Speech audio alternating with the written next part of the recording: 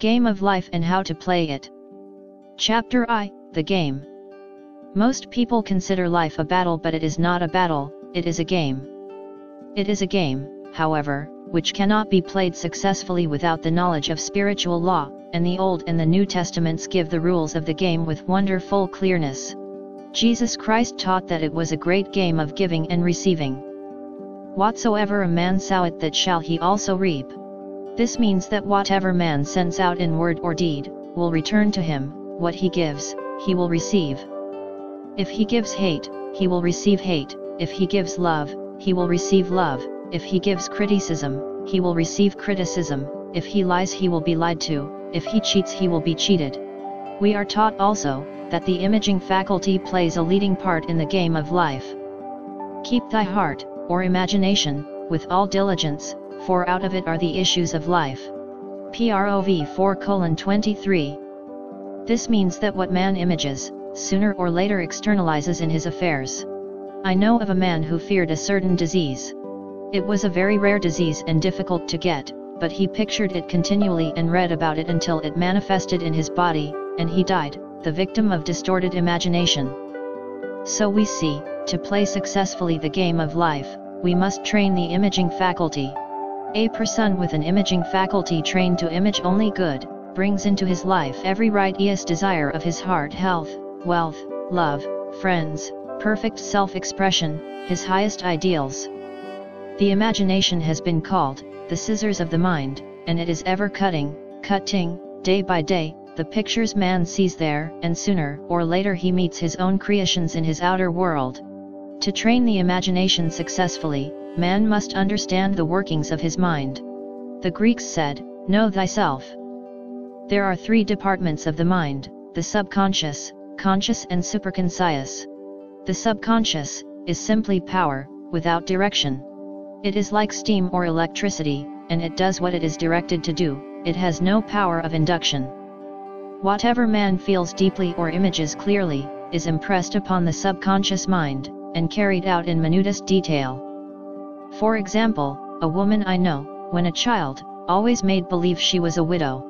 She dressed up in black clothes and wore a long black veil, and people thought she was very clever and amusing. She grew up and married a man with whom she was deeply in love. In a short time he died and she wore black and a sweeping veil for many years. The picture of herself as a widow was impressed upon the subconscious mind, and in due time worked itself out, regardless of the havoc created. 3. Inspiration to Go ebooks for you. The conscious mind has been called mortal or carnal mind. It is the human mind and sees life as it appears to be. It sees death, disaster, sickness, poverty, and limitation of every kind, and it impresses the subconscious. The superconscious mind is the God mind within each man, and is the realm of perfect ideas. In it, is the perfect pattern spoken of by Plato, the divine design, for there is a divine design for each person. There is a place that you are to fill and no one else can fill, something you are to do, which no one else can do. There is a perfect picture of this in the superconscious mind. It usually flashes across the conscious as an unattainable ideal something too good to be true. In reality it is man's true destiny, or destination, flashed to him from the infinite intelligence which is within himself. Many people, however, are in ignorance of their true destinies and are striving for things and situations which do not belong to them, and would only bring failure and dissatisfaction if attained. For example, a woman came to me and asked me to speak the word that she would marry a certain man with whom she was very much in love. She called him A.B. I replied that this would be a violation of spiritual law, but that I would speak the word for the right man, the divine selection, the man who belonged to her by divine right. I added, if AB is the right man you can't lose him, and if he isn't, you will receive his equivalent. She saw AB frequently but no headway was made in their friendship. One evening she called, and said, Do you know, for the last week, AB hasn't seemed so wonderful to me. I replied, maybe he is not the divine selection another man might be the right one. Soon after that, she met another man who fell in love with her at once, and who said she was his ideal. In fact, he said all the things that she had always wished AB would say to her. She remarked, it was quite uncanny. She soon returned his love, and lost all interest in AB. This shows the law of substitution. A right idea was substituted for a wrong one, therefore there was no loss or sacrifice involved. Jesus Christ said, Seek ye first the kingdom of God and his righteousness, and all these things shall be added unto you, and he said the kingdom was within man. The kingdom is the realm of right ideas, or the divine pattern. Jesus Christ taught that man's words played a leading part in the game of life. By your words yet are justified and by your words yet are condemned. 4. Inspiration to go ebooks for you. Many people have brought disaster into their lives through idle words. For example, a woman once asked me why her life was now one of poverty of limitation. Formerly she had a home, was surrounded by beautiful things and had plenty of money. We found she had often tired of the management of her home, and had said repeatedly, I'm sick and tired of things I wish I lived in a trunk, and she added, Today I am living in that trunk. She had spoken herself into a trunk. The subconscious mind has no sense of humor and people often joke themselves into unhappy experiences. For example, a woman who had a great deal of money, joked continually about getting ready for the poorhouse. In a few years she was almost destitute, having impressed the subconscious mind with a picture of lack and limitation. Fortunately the law works both ways, and a situation of lack may be changed to one of plenty. For example, a woman came to me one hot summer's day for a treatment for prosperity. She was worn out, dejected and discouraged. She said she possessed just $8 in the world. I said, good, we'll bless the $8 and multiply them as Jesus Christ multiplied the loaves and fishes, for he taught that every man had the power to bless and to multiply, to heal and to prosper. She said, What shall I do next? I replied, Follow intuition. Have you a hunch to do anything, or to go anywhere? Intuition means, intuition, or to be taught from within. It is man's unerring guide, and I will deal more fully with its laws in a following chapter. The woman replied, I don't know I seem to have a hunch to go home, I've just enough money for carfare. Her home was in a distant city and was one of lack and limitation, and the reasoning mind, or intellect, would have said, stay in New York and get work and make some money. I replied, then go home never violate a hunch. I spoke the following words for her, Infinite Spirit open the way for great abundance for underscore underscore underscore. She is an irresistible magnet for all that belongs to her by divine right. I told her to repeat it continually also. She left for home immediately. In calling on a woman one day, she linked up with an old friend of her family. Through this friend, she received thousands of dollars in a most miraculous way. She has said to me often, tell people about the woman who came to you with $8 and a hunch. There is always plenty on man's pathway, but it can only be brought into manifestation through desire, faith, or the spoken word. Jesus Christ brought out clearly that man must make the first move. Ask, and it shall be given you, seek, and ye shall find, knock, and it shall be opened unto you. Matt 7 7. In the scriptures we read, concerning the works of my hands, command ye me. Infinite intelligence, God, is ever ready to carry out man's smallest or greatest demands. Inspiration to go ebooks for you. 5. Inspiration to go ebooks for you. Every desire, uttered or unexpressed, is a demand. We are often startled by having a wish suddenly fulfilled. For example, one Easter, having seen many beautiful rose trees in the florist's windows, I wished I would receive one, and for an instant saw it mentally being carried in the door. Easter came, and with it a beautiful rose tree. I thanked my friend the following day, and told her it was just what I had wanted. She replied, I didn't send you a rose tree, I sent you lilies. The man had mixed the order, and sent me a rose tree simply because I had started the law in action, and I had to have a rose tree. Nothing stands between man and his highest ideals and every desire of his heart, but doubt and fear. When man can wish without worrying, every desire will be instantly fulfilled. I will explain more fully in a following chapter the scientific reason for this and how fear must be erased from the consciousness. It is man's only enemy fear of lack, fear of failure, fear of sickness, fear of loss and a feeling of insecurity on some plane. Jesus Christ said, Why are ye fearful, O ye of little faith? Matt.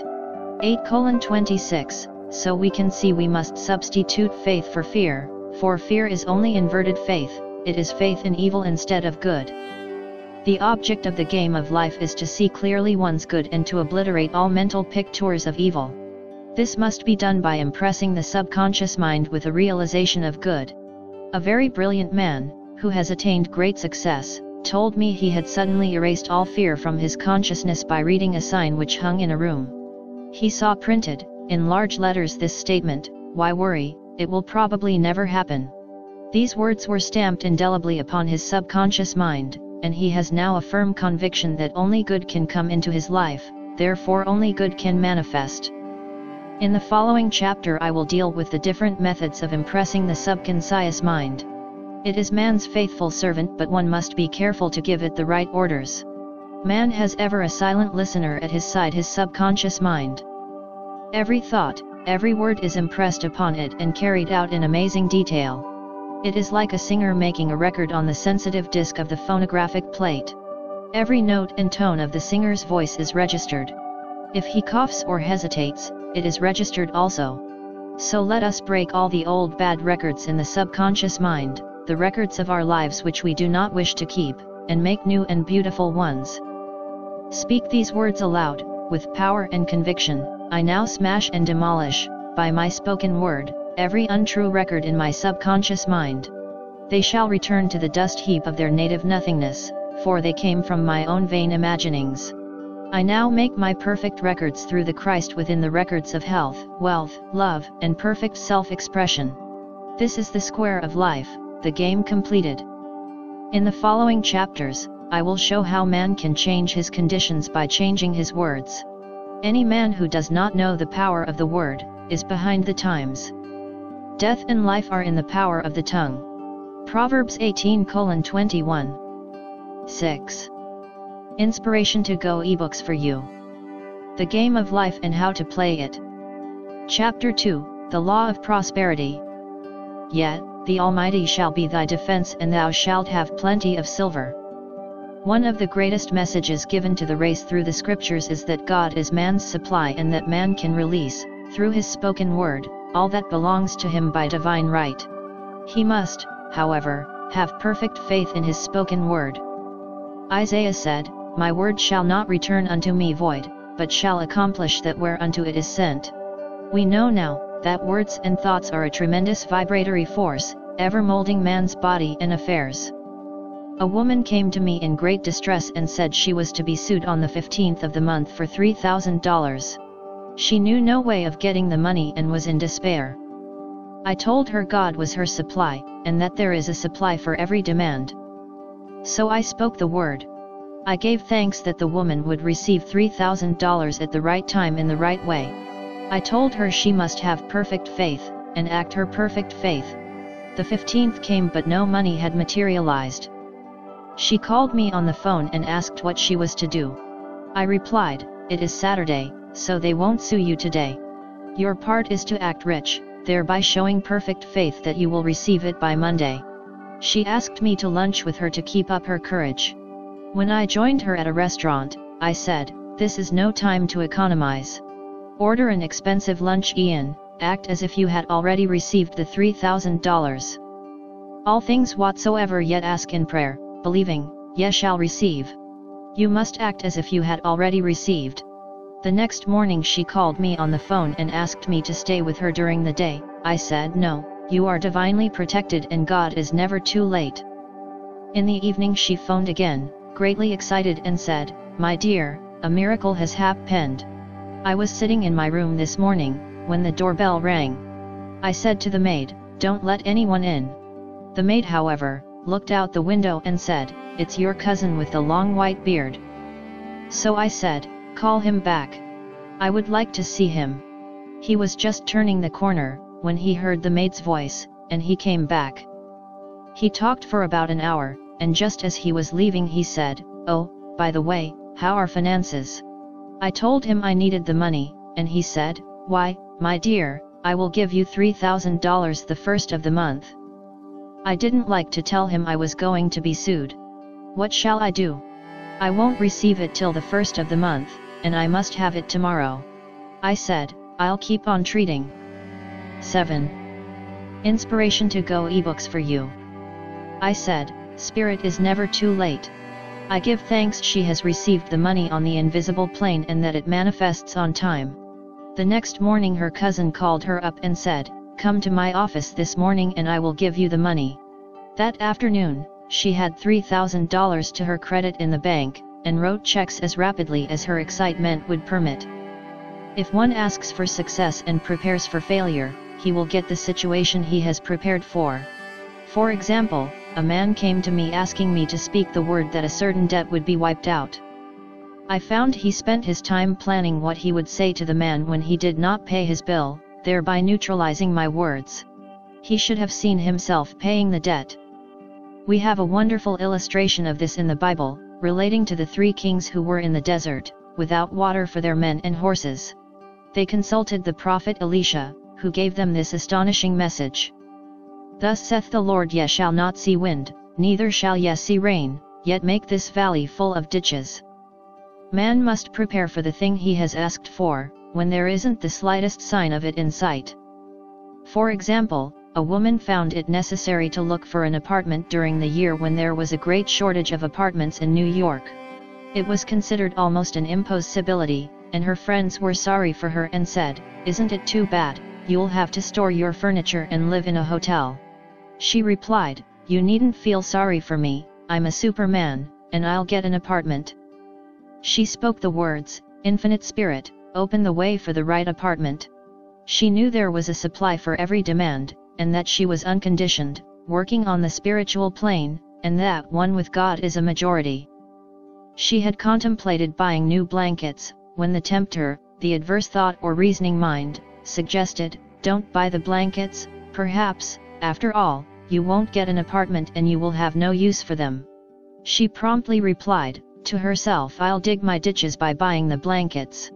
So she prepared for the apartment acted as though she already had it. She found one in a miraculous way, and it was given to her although there were over 200 other applicants. The blankets showed active faith. It is needless to say that the ditches dug by the three kings in the desert were filled to overflowing. Red, 2 Kings. Getting into the spiritual swing of things is no easy matter for the average person. The adverse thoughts of doubt and fear surge from the subconscious. They are the army of the aliens which must be put to flight. This explains why it is so often, darkest before the dawn. 8. A big demonstration is usually preceded by tormenting thoughts. Having made a statement of high spiritual truth one challenges the old beliefs in the subconscious, and error is exposed to be put out. This is the time when one must make his affirmations of truth repeatedly, and rejoice and give thanks that he has already received. Before ye call I shall answer. This means that every good and perfect gift is already man's awaiting his recognition. Man can only receive what he sees himself receiving. The children of Israel were told that they could have all the land they could see. This is true of every man. He has only the land within his own mental vision. Every great work, Every big accomplishment, has been brought into manifestation through holding to the vision, and often just before the big achievement, comes apparent failure and discouragement. The children of Israel when they reached the promised land, were afraid to go in, for they said it was filled with giants who made them feel like grasshoppers. And there we saw the giants and we were in our own sight as grasshoppers. This is almost every man's experience. However, the one who knows spiritual law, is undisturbed by appearance, and rejoices while he is yet in captivity. That is, he holds to his vision and gives thanks that the end is accomplished, he has received. Jesus Christ gave a wonderful example of this. He said to his disciples, Say not yet, there are yet four months and then cometh the harvest. Behold, I say unto you, lift up your eyes and look on the fields, for they are ripe already to harvest. His clear vision pierced the world of matter and he saw clearly the fourth dimensional world, things as they really are, perfect and complete in divine mind. So man must ever hold the vision of his journey's end and demand the manifestation of that which he has already received. It may be his perfect health, love, supply, self-expression, home, or friends. They are all finished and perfect ideas registered in divine mind, man's own superconscious mind, and must come through him, not to him.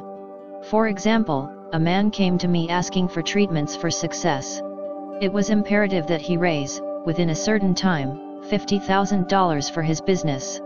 The time limit was almost up, when he came to me in despair. No one wanted to invest in his enterprise, and the bank had flatly refused a loan. I replied, I suppose you lost your temper while at the bank, therefore your power. You can control any situation if you first control yourself. Go back to the bank, I added, and I will treat. My treatment was, you are identified in love with the spirit of everyone connected with the bank. Let the divine idea come out of this situation. He replied, Woman, you are talking about an impossibility.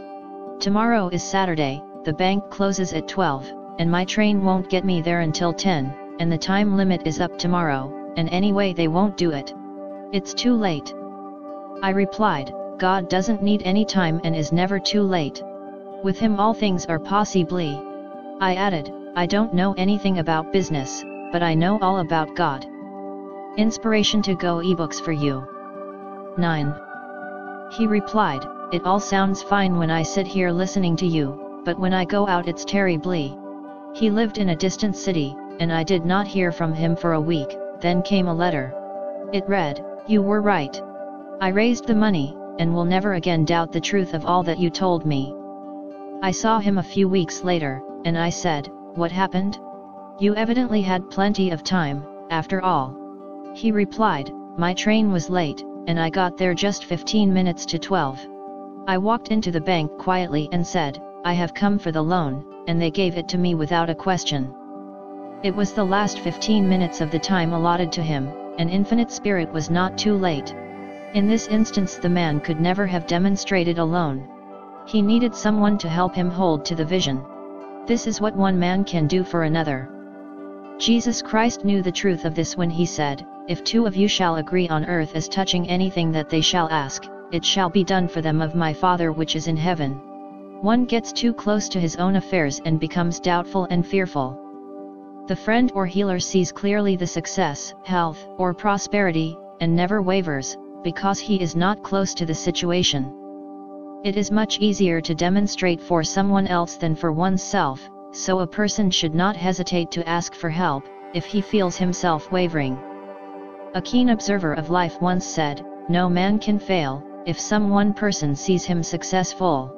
Such is the power of the vision, and many a great man has owed his success to a wife, or sister, or a friend who believed in him and held without wavering to the perfect pattern. Inspiration to Go ebooks for you. 10. Inspiration to Go ebooks for you. The Game of Life and How to Play It. Chapter 3 The Power of the Word. By thy words thou shalt be justified, and by thy words thou shalt be condemned. A person knowing the power of the word, becomes very careful of his conversation. He has only to watch the reaction of his words to know that they do not return void.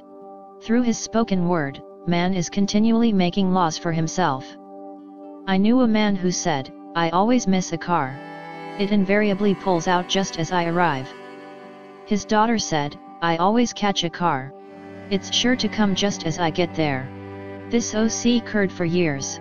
Each had made a separate law for himself, one of failure, one of success. This is the psychology of superstitions. The horseshoe or rabbit's foot contains no power, but man's spoken word and belief that it will bring him good luck creates expectancy in the subconscious mind, and attracts a lucky situation. I find however, this will not work when man has advanced spiritually and knows a higher law. One cannot turn back, and must put away graven images. For example, two men in my class had had great success in business for several months, when suddenly everything went to smash.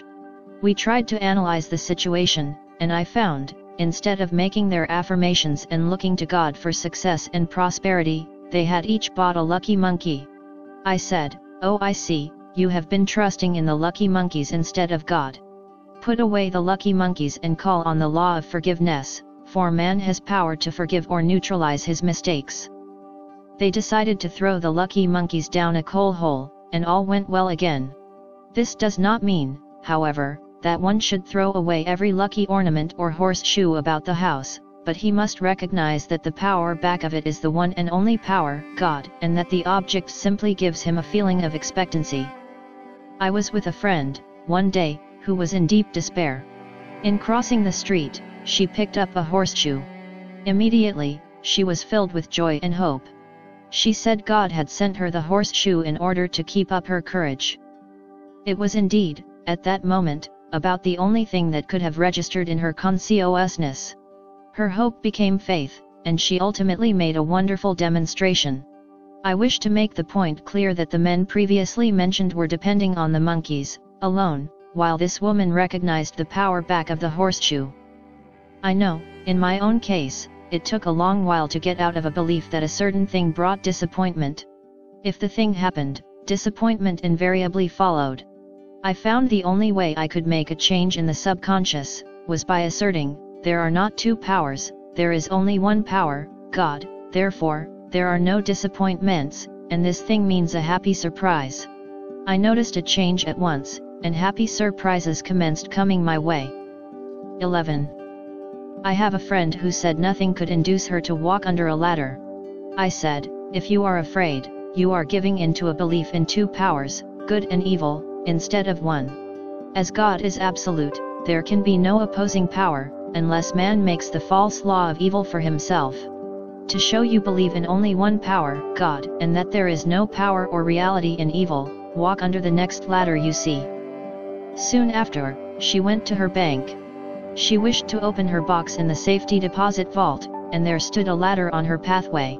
It was impossible to reach the box without passing under the ladder. She quailed with fear and turned back. She could not face the lion on her pathway.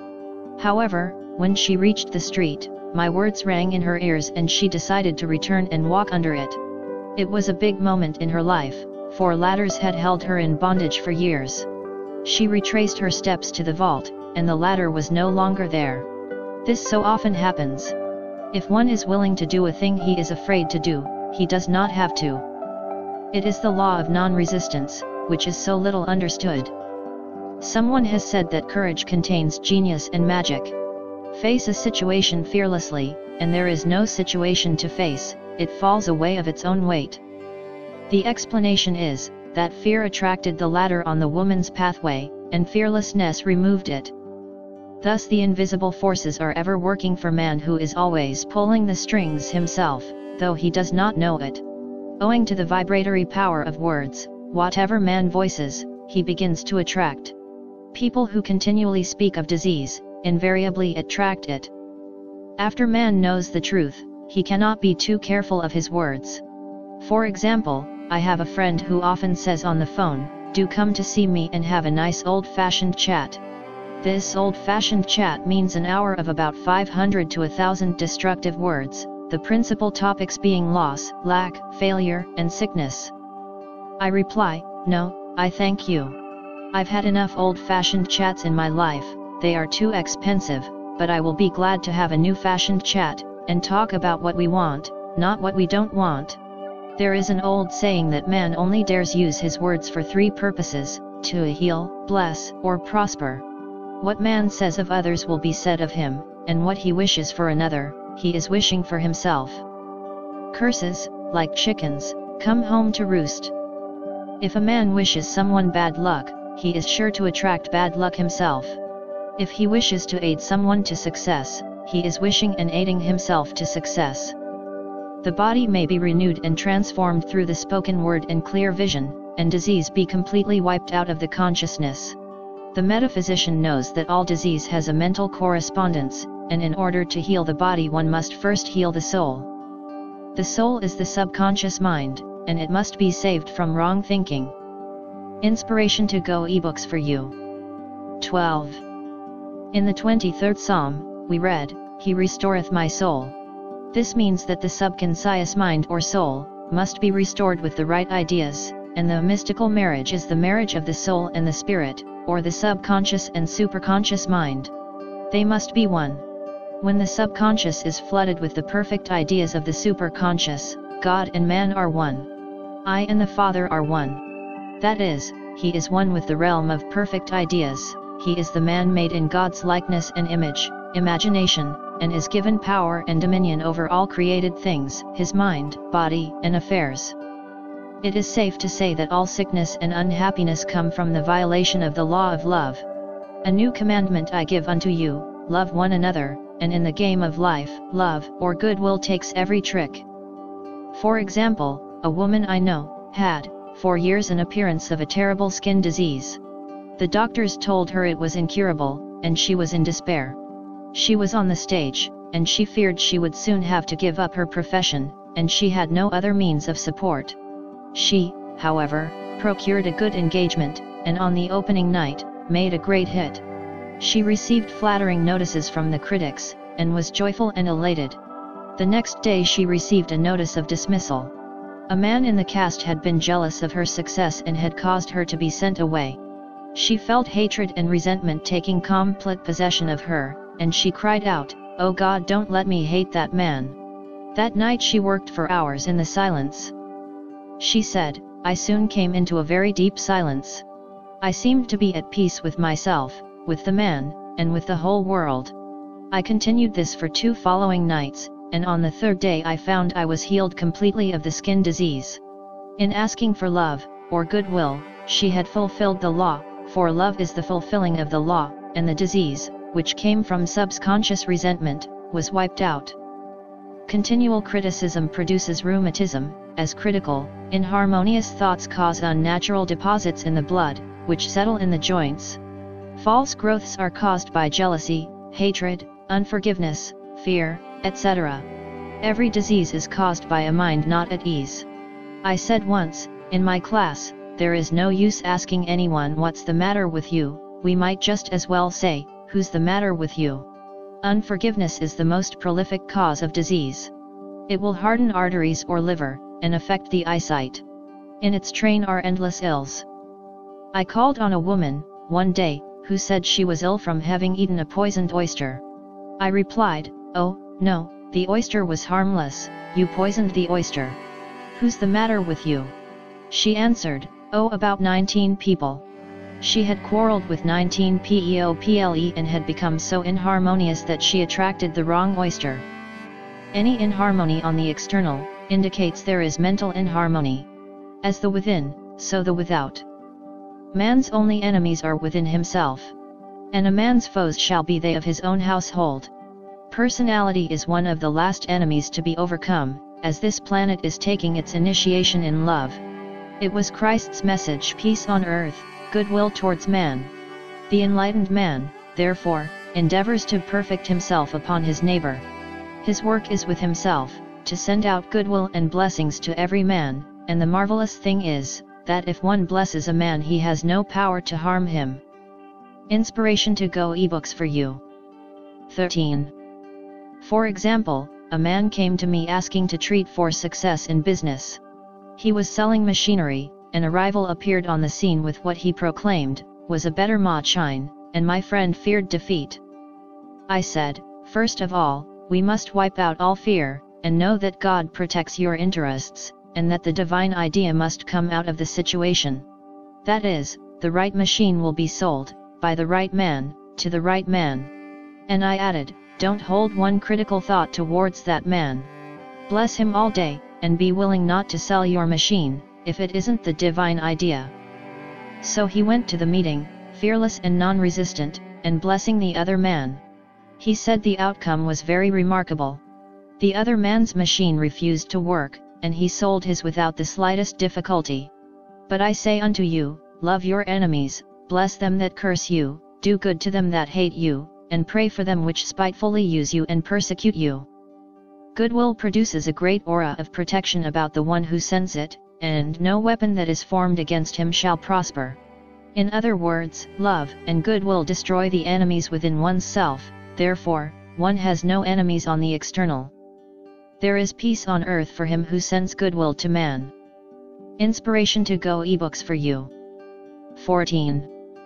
Inspiration to Go ebooks for you. The Game of Life and How to Play It. Chapter 4 The Law of Non Resistance. Resist not evil. Be not overcome of evil, but overcome evil with good. Nothing on earth can resist an absolutely non resistant person. The Chinese say that water is the most powerful element, because it is perfectly non resistant. It can wear away a rock, and sweep all before it. Jesus Christ said, Resist not evil, for he knew in reality, there is no evil, therefore nothing to resist. Evil has come of man's vain imagination, or a belief in two powers, good and evil.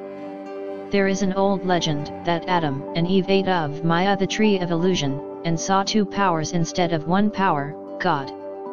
Therefore, evil is a false law man has made for himself, through psychoma or soul sleep. Soul sleep means, that man's soul has been hypnotized by the race belief, of sin, sickness, and death, etc., which is carnal or mortal thought, and his affairs have outpictured his illusions. We have read in a preceding chapter, that man's soul is his subconscious mind, and whatever he feels deeply, good or bad, is outpictured by that faithful servant. His body and affairs show forth what he has been picturing. The sick man has pictured sickness, the poor man, poverty, the rich man, wealth. People often say, why does a little child attract illness, when it is too young even to know what it means? I answer that children are sensitive and receptive to the thoughts of others about them, and often outpicture the fears of their parents. I heard a metaphysician once say, if you do not run your subconscious mind yourself, someone else will run it for you. Mothers often, unconsciously, attract illness and disaster to their children, by continually holding them in thoughts of fear, and watching for symptoms. For example, a friend asked a woman if her little girl had had the measles. She replied promptly, not yet. This implied that she was expecting the illness, and, therefore, preparing the way for what she did not want for herself and child. However, the man who is centered and established in right thinking, the man who sends out only goodwill to his fellow man, and who is without fear, cannot be touched or influenced by the negative thoughts of others. In fact, he could then receive only good thoughts, as he himself sends forth only thoughts. 15. Resistance is hell, for it places man in a state of torment. A metaphysician once gave me a wonderful recipe for taking every trick in the game of life, it is the acme of non-resistance. He gave it in this way, at one time in my life, I baptized children, and of course, they had many names. Now I no longer baptize children, but I baptize events, but I give every event the same name. If I have a failure I baptize it SUCCESS, in the name of the Father, and of the Son, and of the Holy Ghost. In this, we see the great law of transmutation, founded on non-resistance. Through his spoken word, every failure was transmuted into success. For example, a woman who required money, and who knew the spiritual law of opulence, was thrown in a business way continually, with a man who made her feel very poor. He talked lack and limitation and she commenced to catch his poverty thoughts, so she disliked him, and blamed him for her failure. She knew in order to demonstrate her supply, she must first feel that she had received a feeling of opulence must precede its manifestation. It dawned on her, one day, that she was resisting the situation, and seeing two powers instead of one. So she blessed the man and baptized the situation success. She affirmed, as there is only one power, God, this man is here for my good and my prosperity, just what he did not seem to be there for. Soon after that she met, through this man, a woman who gave her for a service rendered, several thousand dollars, and the man moved to a distant city, and faded harmoniously from her life. Make the statement, every man is a golden link in the chain of my good, for all men are God in manifestation, awaiting the opportunity given by man, himself, to serve the divine plan of his life. Bless your enemy, and you rob him of his ammunition. His arrows will be transmuted into blessings. This law is true of nations as well as individuals. Bless a nation, send love and goodwill to every inhabitant, and it is robbed of its power to harm. Man can only get the right idea of non-resistance, through spiritual understanding. My students have often said, I don't want to be a doormat. I reply when you use non-resistance with wisdom, no one will ever be able to walk over you. Another example, one day I was impatiently awaiting an important telephone call. I resisted every call that came in and made no outgoing calls myself, reasoning that it might interfere with the one I was awaiting. Instead of saying, divine ideas never conflict, the call will come at the right time, leaving it to infinite intelligence to arrange, I commenced to manage things myself I made the battle mine, not God's, and remained tense and anxious. The bell did not ring for about an hour, and I glanced at the phone and found the receiver had been off that length of time, and the phone was disconnected. My anxiety, fear, and belief in interference, had brought on a total eclipse of the telephone.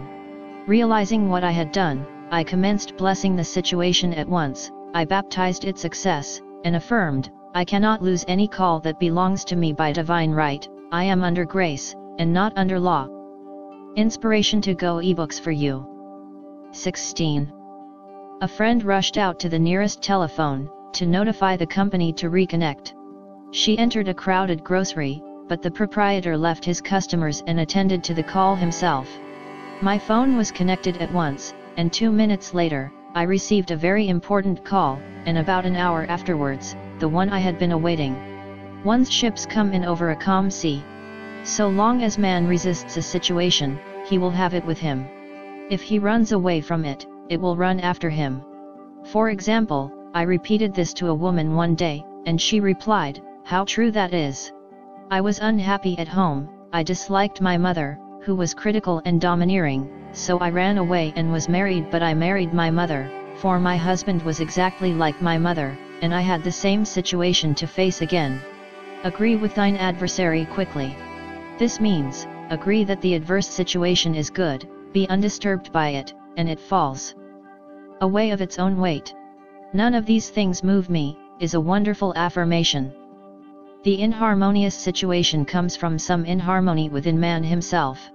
When there is, in him, no emotional response to an inharmonious situation, it fades away forever, from his pathway. So we see man's work is ever with himself. People have said to me, give treatments to change my husband, or my brother. I reply, no, I will give treatments to change you, when you change, your husband and your brother will change. One of my students was in the habit of lying. I told her it was a failure method and if she lied, she would be lied to. She replied, I don't care, I can't possibly get along without Li lying. One day she was speaking on the phone to a man with whom she was very much in love. She turned to me and said, I don't trust him, I know he's lying to me. I replied, well, you lie yourself, so someone has to lie to you, and you may be sure it will be just the person you want the truth from. Some time after that, I saw her, and she said, I'm cured of Li. Ing. I questioned, what cured you? She replied, I have been living with a woman who lied worse than I did. One is often cured of his faults by seeing them in others. Life is a mirror, and we find only ourselves reflected in our associates. Living in the past is a failure method and a violation of spiritual law. Inspiration to Go ebooks for you. 17. Jesus Christ said, Behold, now is the accepted time.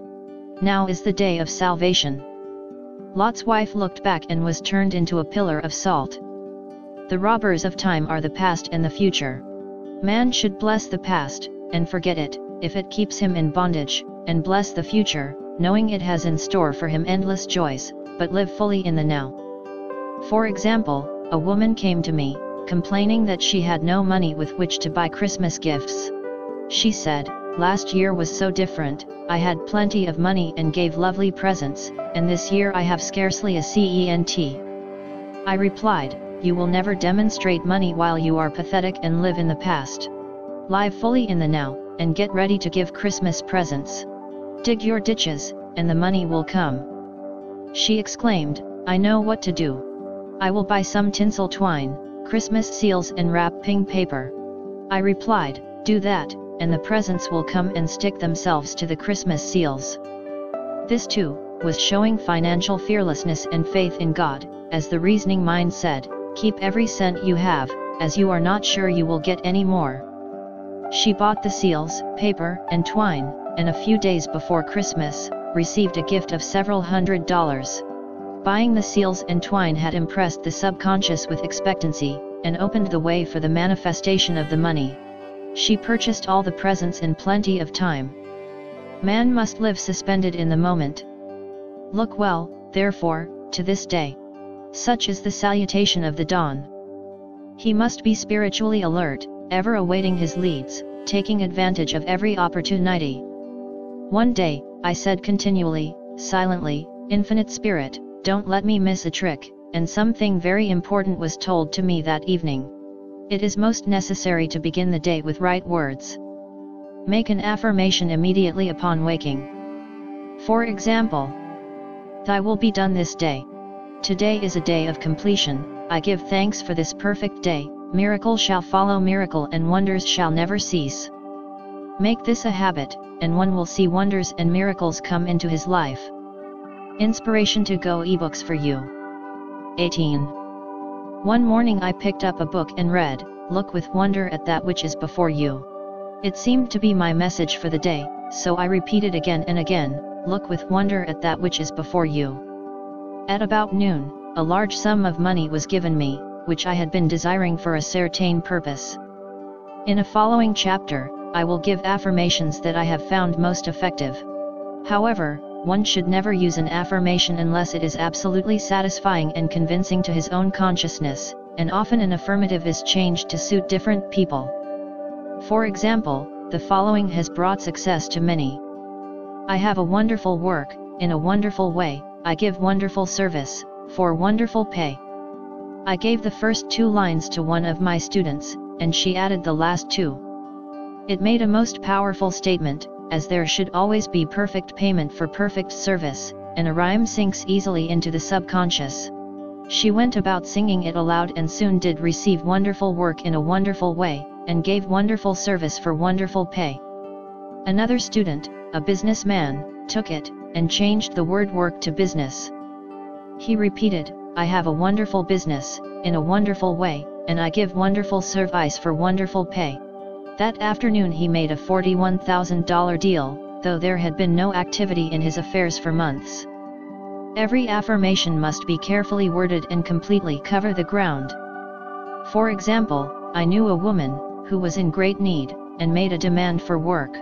She received a great deal of work, but was never paid anything. She now knows to add, wonderful service for wonderful pay. It is man's divine right to have plenty. More than enough. His barns should be full, and his cup should flow over. This is God's idea for man, and when man breaks down the barriers of lack in his own consciousness, the golden age will be his, and every righteous desire of his heart fulfilled. Inspiration to Go ebooks for you. 19. Inspiration to Go ebooks for you. The Game of Life and How to Play It. Chapter V The Law of Karma and the Law of Forgiveness. Man receives only that which he gives. The game of life is a game of boomerangs. Man's thoughts, deeds, and words return to him sooner or later, with astounding accuracy. This is the law of karma, which is Sanskrit for comeback. Whatsoever a man soweth, that shall he also reap. For example, a friend told me this story of herself, illustrating the law. She said, I make all my karma on my aunt, whatever I say to her, someone says to me. I am often irritable at home, and one day said to my aunt, who was talking to me during dinner, No more talk, I wish to eat in peace. The following day, I was lunching with a woman with whom I wished to make a great impression. I was talking animatedly, when she said, No more talk, I wish to eat in peace. My friend is high in consciousness, so her karma returns much more quickly than to one on the mental plane. The more man knows, the more he is responsible for, and a person with a knowledge of spiritual law, which he does not practice, suffers greatly, in consequence. The fear of the Lord, law, is the beginning of wisdom. If we read the word Lord, law, it will make many passages in the Bible much clearer. Vengeance is mine, I will repay, saith the Lord, law. It is the law which takes vengeance, not God. God sees man perfect, created in his own image, imagination, and given power and dominion. This is the perfect idea of man, registered in divine mind, awaiting man's recognition, for man can only be what he sees himself to be, and only attain what he sees himself attaining. Nothing ever happens without an onlooker is an ancient saying. Man sees first his failure or success, his joy or sorrow, before it swings into visibility from the scenes set in his own imagination. We have observed this in the mother picturing dis-ease for her child, or a woman seeing success for her husband. Jesus Christ said, And ye shall know the truth and the truth shall make you free. So, we see freedom, from all unhappy conditions, comes through knowledge and knowledge of spiritual law. 20. Obedience precedes authority, and the law obeys man when he obeys the law. The law of electricity must be obeyed before it becomes man's servant. When handled ignorantly, it becomes man's deadly foe. So with the laws of mind. For example, a woman with a strong personal will, wished she owned a house which belonged to an acquaintance, and she often made mental pictures of herself living in the house. In the course of time, the man died and she moved into the house. Several years afterwards, coming into the knowledge of spiritual law, she said to me, do you think I had anything to do with that man's death? I replied, Yes, your desire was so strong, everything made way for it, but you paid your karmic debt.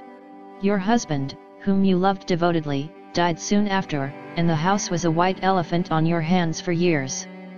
The original owner, however, could not have been affected by her thoughts had he been positive in the truth, nor her husband, but they were both under karmic law. The woman should have said, feeling the great desire for the house, infinite intelligence, give me the right house, equally as charming as this, the house which is mine by divine right. The divine selection would have given perfect satisfaction and brought good to all. The divine pattern is the only safe pattern to work by. Desire is a tremendous force, and must be directed in the right channels, or chaos ensues. In demonstrating, the most important step is the first step, to ask aright. Man should always demand only that which is his by divine right. To go back to the illustration, had the woman taken this attitude, if this house I desire is mine, I cannot lose it, if it is not, give me its equivalent, the man might have decided to move out, harmoniously, had it been the divine selection for her, or another house would have been substituted. Anything forced into manifestation through personal will is always ill-got, and has ever bad success. Man is admonished, My will be done not thine, and the curious thing is, man always gets just what he desires when he does relinquish personal will, thereby enabling infinite intelligence to work through him. Stand ye still and see the salvation of the Lord, Law. For example, a woman came to me in great distress. Her daughter had determined to take a very hazardous trip, and the mother was filled with fear. She said she had used every argument, had pointed out the dangers to be encountered, and forbidden her to go, but the daughter became more and more rebellious and determined. I said to the mother, You are forcing your personal will upon your daughter, which you have no right to do, and your fear of the trip is only attracting it, for man attracts what he fears. Inspiration to Go ebooks for you. 21. I added, Let go, and take your mental hands off. Put it in God's hands, and use this statement, I put this situation in the hands of infinite love and wisdom, if this trip is the divine plan, I bless it and no longer resist, but if it is not divinely planned, I give thanks that it is now dissolved and dissipated. A day or two after that, her daughter said to her, Mother, I have given up the trip, and the situation returned to its native nothingness. It is learning to stand still, which seems so difficult for man. I will deal more fully with this law in the chapter on non-resistance. I will give another example of sowing and reaping, which came in the most curious way. A woman came to me, saying she had received a counterfeit $20 bill, given to her at the bank. She was much disturbed, for, she said, the people at the bank will never ac knowledge their mistake. I replied, let us analyze the situation and find out why you attracted it. She thought a few moments and exclaimed, I know it, I sent a friend a lot of stage money, just for a joke. So the law had sent her some stage money, for it doesn't know anything about jokes. I said, now we will call on the law of forgiveness, and neutralize the situation. Christianity is founded upon the law of forgiveness. Christ has redeemed us from the curse of the karmic law, and the Christ within each man is his Redeemer and salvation from all inharmonious conditions. So I said, Infinite Spirit, we call on the law of forgiveness and give thanks that she is under grace and not under law, and cannot lose this $20 which is hers by divine right. Now, I said, go back to the bank and tell them, fearlessly, that it was given you there by mistake. She obeyed, and to her surprise, they apologized and gave her another bill, treating her most courteously. So knowledge of the law gives man power to rub out his mistakes. Man cannot force the external to be what he is not. If he desires riches, he must be rich first in consciousness.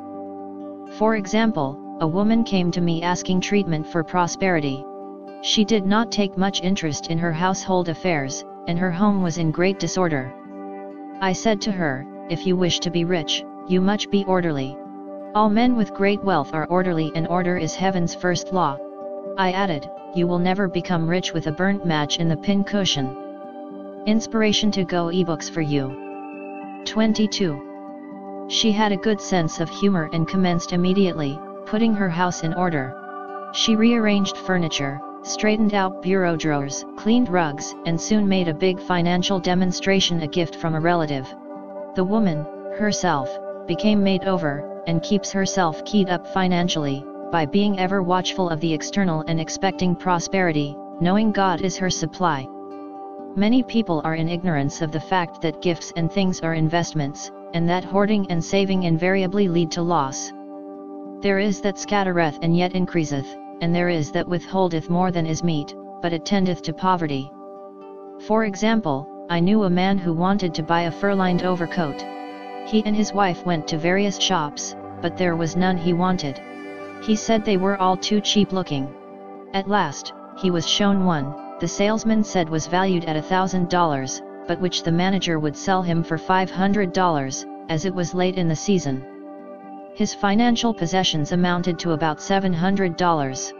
The reasoning mind would have said, you can't afford to spend nearly all you have on a coat, but he was very intuitive and never reasoned.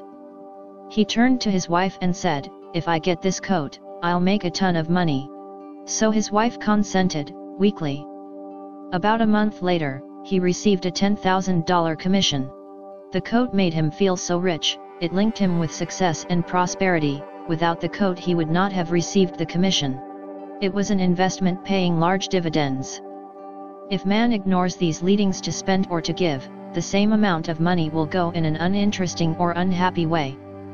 For example, a woman told me, on Thanksgiving Day, she informed her family that they could not afford a Thanksgiving dinner. She had the money, but decided to save it. A few days later, someone entered her room and took from the bureau drawer the exact amount the dinner would have cost. The law always stands back of the man who spends fearlessly, with wisdom. For example, one of my students was shopping with her little nephew. The child clamored for a toy, which she told him she could not afford to buy. She realized suddenly that she was seeking lack, and not recognizing God as her supply. So she bought the toy, and on her way home, picked up, in the street, the exact amount of money she had paid for it. Inspiration to Go ebooks for you.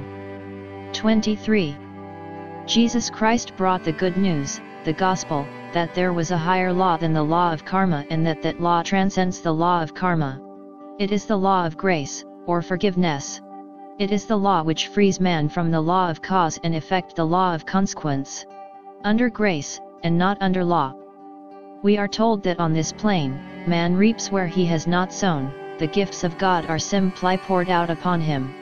All that the kingdom affords is his. This continued state of bliss awaits the man who has overcome the race, or world, thought. In the world thought there is tribulation, but Jesus Christ said, Be of good cheer, I have overcome the world. The world thought is that of sin, sickness, and death.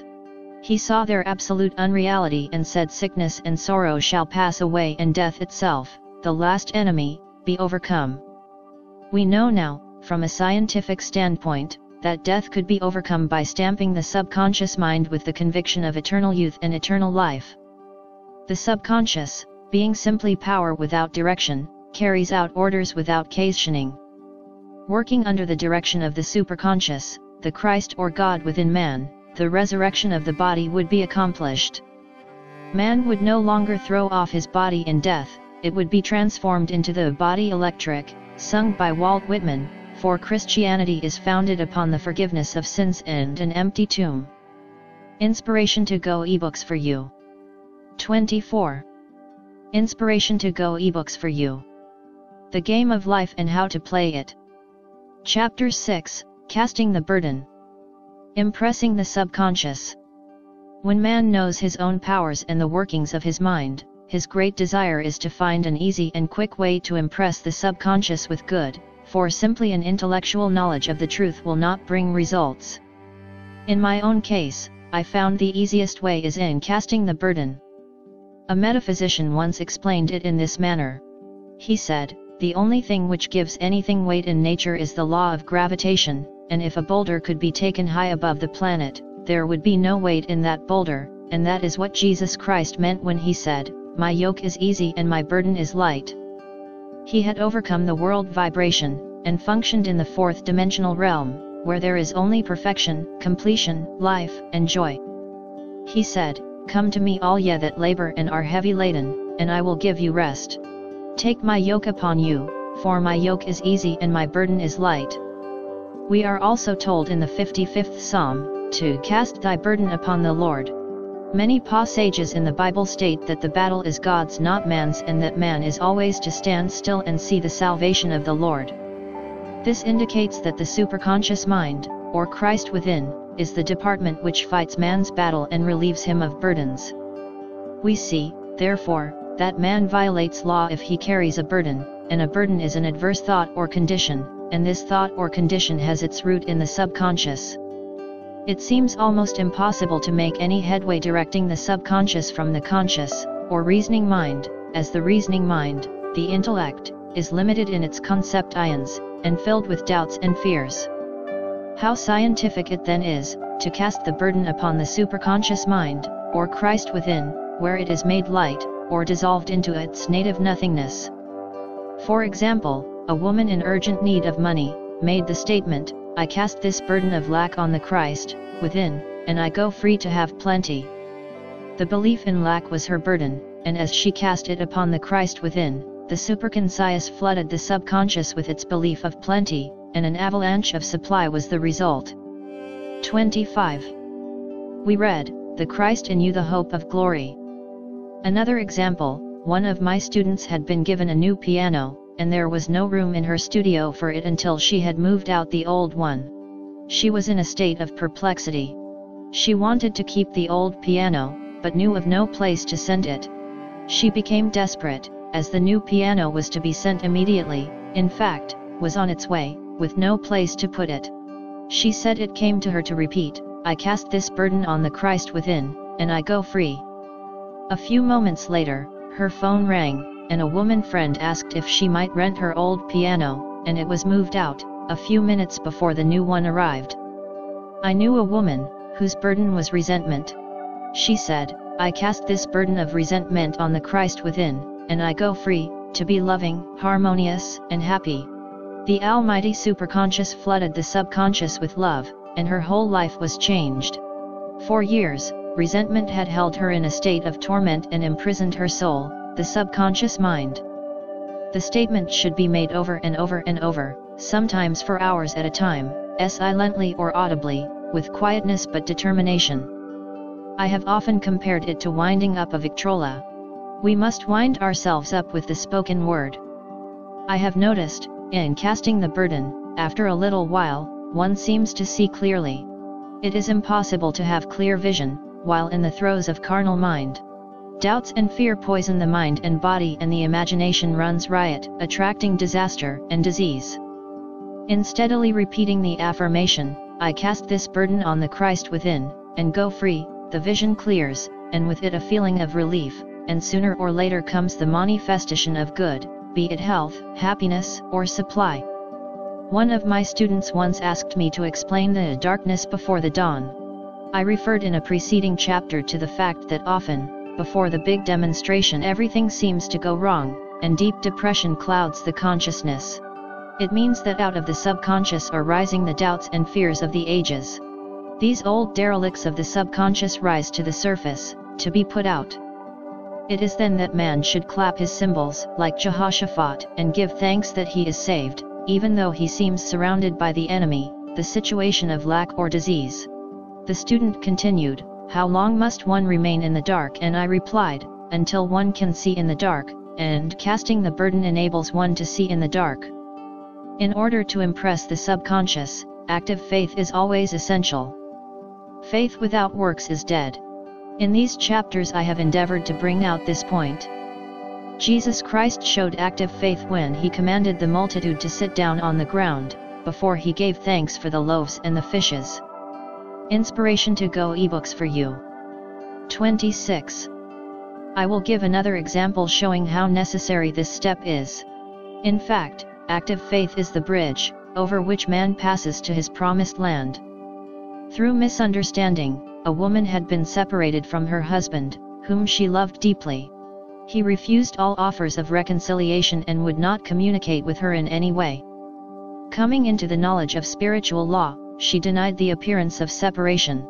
She made this statement, there is no separation in divine mind, therefore, I cannot be separated from the love and companionship which are mine by divine right. She showed active faith by arranging a place for him at the table every day, thereby impressing the subconscious with a picture of his return. Over a year passed, but she never wavered, and one day he walked in. The subconscious is often impressed through music. Music has a fourth dimensional quality and releases the soul from imprisonment. It makes wonderful things seem possibly, and easy of accomplishment. I have a friend who uses her Victrola, daily, for this purpose. It puts her in perfect harmony and releases the imagination. Another woman often dances while making her affirmations. The rhythm and harmony of music and motion carry her words forth with tremendous power. The student must remember also, not to despise the day of small things. Invariably, before a demonstration, come signs of land. Before Columbus reached America, he saw birds and twigs which showed him land was near. So it is with a demonstration, but often the student mistakes it for the demonstration itself and is disappointed. For example, a woman had spoken the word for a set of dishes. Not long afterwards a friend gave her a dish which was old and cracked. She came to me and said, well, I asked for a set of dishes, and all I got was a cracked plate. I replied, the plate was only signs of land. It shows your dishes are coming look upon it as birds and seaweed, and not long afterwards the dishes came. Continually making believe impresses the subconscious. If one makes believe he is rich, and makes believe he is successful, in due time he will reap. Children are always making believe, and except ye be converted, and become as little children, ye shall not enter the kingdom of heaven. Inspiration to go ebooks for you. For example, I know of a woman who was very poor, but no one could make her feel poor. She earned a small amount of money from rich friends, who constantly reminded her of her poverty, and to be careful and saving. Regardless of their admonitions, she would spend all her earnings on a hat, or make someone a gift, and be in a rapturous state of mind. Her thoughts were always centered on beautiful clothes and rings and things, but without envying others. She lived in the world of the wondrous, and only riches seemed real to her. Before long she married a rich man, and the rings and things became visible. I do not know whether the man was the divine selection, but opulence had to manifest in her life, as she had imaged only opulence. There is no peace or happiness for man, until he has erased all fear from the subconscious. Fear is misdirected energy and must be redirected, or transmuted into faith. Jesus Christ said, Why are ye fearful, O ye of little faith? All things are possible to him that believeth. I am asked, so often by my students, how can I get rid of fear? I reply, by walking up to the thing you are afraid of. The lion takes its fierceness from your fear. Walk up to the lion, and he will disappear, run away and he runs after you. I have shown in previous chapters, how the lion of lack disappeared when the individual spent money fearlessly, showing faith that God was his supply and therefore, unfailing. Many of my students have come out of the bondage of poverty, and are now bountifully supplied, through losing all fear of letting money go out. The subconscious is impressed with the truth that God is the giver and gift, therefore as one is one with the giver, he is one with the gift. A splendid statement is, I now thank God the giver for God the gift. Man has so long separated himself from his good and his supply, through thoughts of separation and lack, that sometimes, it takes dynamite to dislodge these false ideas from the subconscious, and the dynamite is a big situation. We see in the foregoing illustration, how the individual was freed from his bondage by showing fearlessness. Man should watch himself hourly to detect if his motive for action is fear or faith. Choose ye this day whom we shall serve, fear or faith. Perhaps one's fear is of personality. Then do not avoid the people feared, be willing to meet them cheerfully, and they will either prove golden links in the chain of one's good, or disappear harmoniously from one's pathway. Inspiration to Go ebooks for you. 28. Perhaps one's fear is of disease or germs. Then one should be fearless and undisturbed in a germ-laden situation, and he would be immune. One can only contract germs while vibrating at the same rate as the germ, and fear drags men down to the level of the germ. Of course, the disease-laden germ is the product of carnal mind, as all thought must objectify. Germs do not exist in the superconscious or divine mind, therefore are the product of man's vain imagination. In the twinkling of an eye, man's release will come when he realizes there is no power in evil. The material world will fade away, and the fourth dimensional world, the world of the wondrous, will swing into manifestation. And I saw a new heaven, and a new earth and there shall be no more death, neither sorrow nor crying, neither shall there be any more pain, for the former things are passed away. Inspiration to Go ebooks for you. 29. Inspiration to Go ebooks for you. The Game of Life and How to Play It. Chapter 7 Love. Every man on this planet is taking his initiation in love. A new commandment I give unto you, that ye love one another. Ouspensky states, in Tertium Organum, that love is a cosmic phenomenon, and opens to man the fourth dimensional world, the world of the wondrous. Real love is selfless and free from fear. It pours itself out upon the object of its affection, without demanding any return. Its joy is in the joy of giving. Love is God in manifestation, and the strongest magnetic force in the universe. Pure, unselfish love draws to itself its own, it does not need to seek or demand. Scarcely anyone has the faintest conception of real love. Man is selfish, tyrannical, or fearful in his affections, thereby losing the thing he loves. Jealousy is the worst enemy of love, for the imagination runs riot, seeing the loved one attracted to another, and invariably these fears objectify if they are not neutralized. For example, a woman came to me in deep distress. The man she loved had left her for other women, and said he never intended to marry her. She was torn with jealousy and resentment and said she hoped he would suffer as he had made her suffer, and added, How could he leave me when I loved him so much? I replied, You are not loving that man, you are hating him, and added, You can never receive what you have never given. Give a perfect love and you will receive a perfect love. Perfect yourself on this man. Give him a perfect, unselfish love, demanding nothing in return.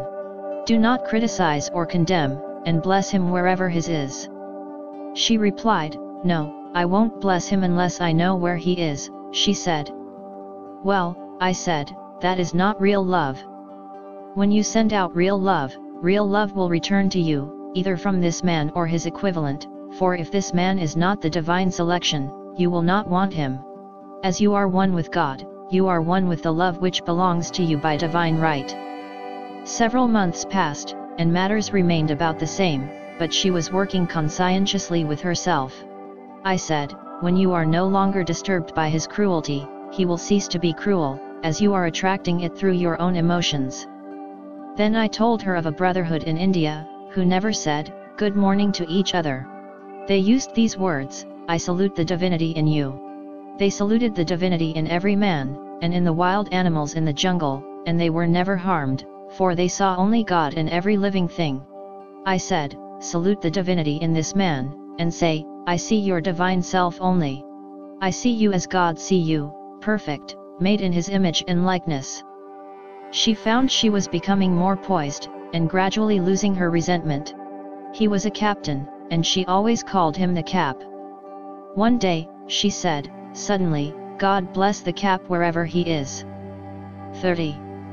I replied, now that is real love, and when you have become a complete circle, and are no longer disturbed by the situation, you will have his love, or attract its equivalent. I was moving at this time, and did not have a telephone, so was out of touch with her for a few weeks, when one morning I received a letter saying, we are married. At the earliest opportunity, I paid her a call. My first words were, what happened? Oh, she exclaimed, a miracle. One day I woke up and all suffering had ceased. I saw him that evening and he asked me to marry him. We were married in about a week, and I have never seen a more devoted man. There is an old saying, no man is your enemy, no man is your friend, every man is your teacher. So one should become impersonal and learn what each man has to teach him, and soon he would learn his lessons and be free. The woman's lover was teaching her selfless love, which every man, sooner or later, must learn.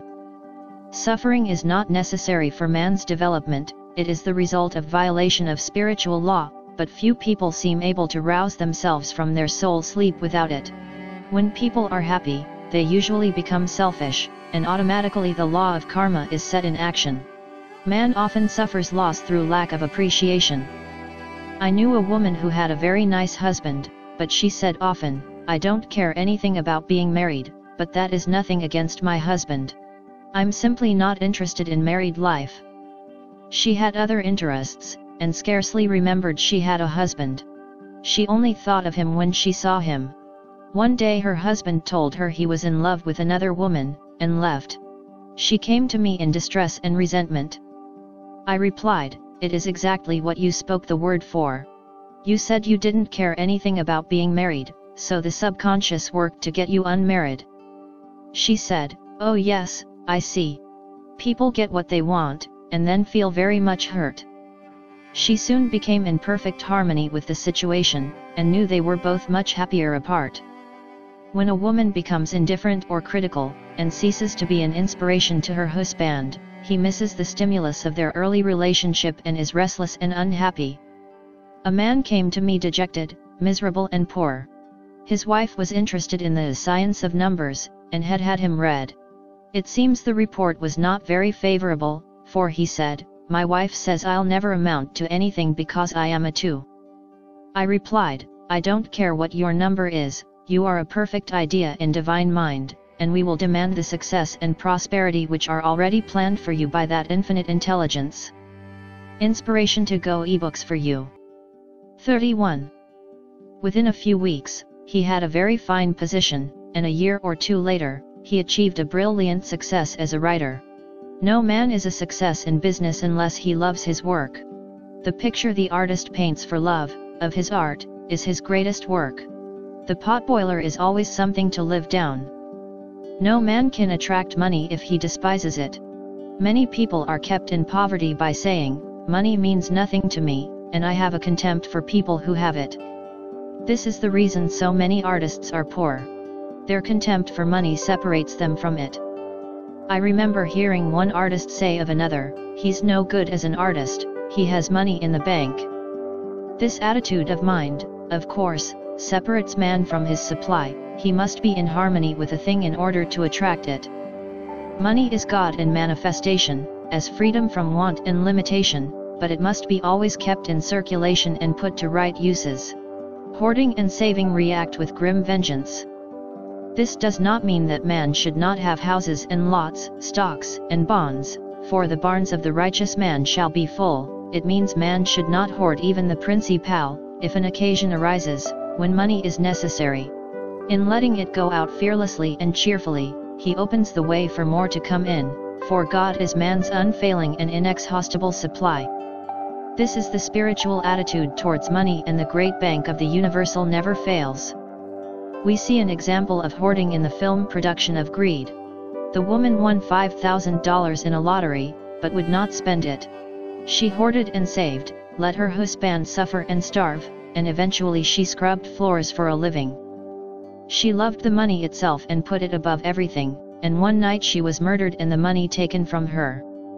This is an example of where love of money is the root of all evil. Money in itself, is good and beneficent, but used for destructive purposes, hoarded and saved, or considered more important than love, brings disease and disaster, and the loss of the money itself. Follow the path of love, and all things are added, for God is love, and God is supply, follow the path of selfishness and greed, and the supply vanishes, or man is separated from it. For example, I knew the case of a very rich woman, who hoarded her income.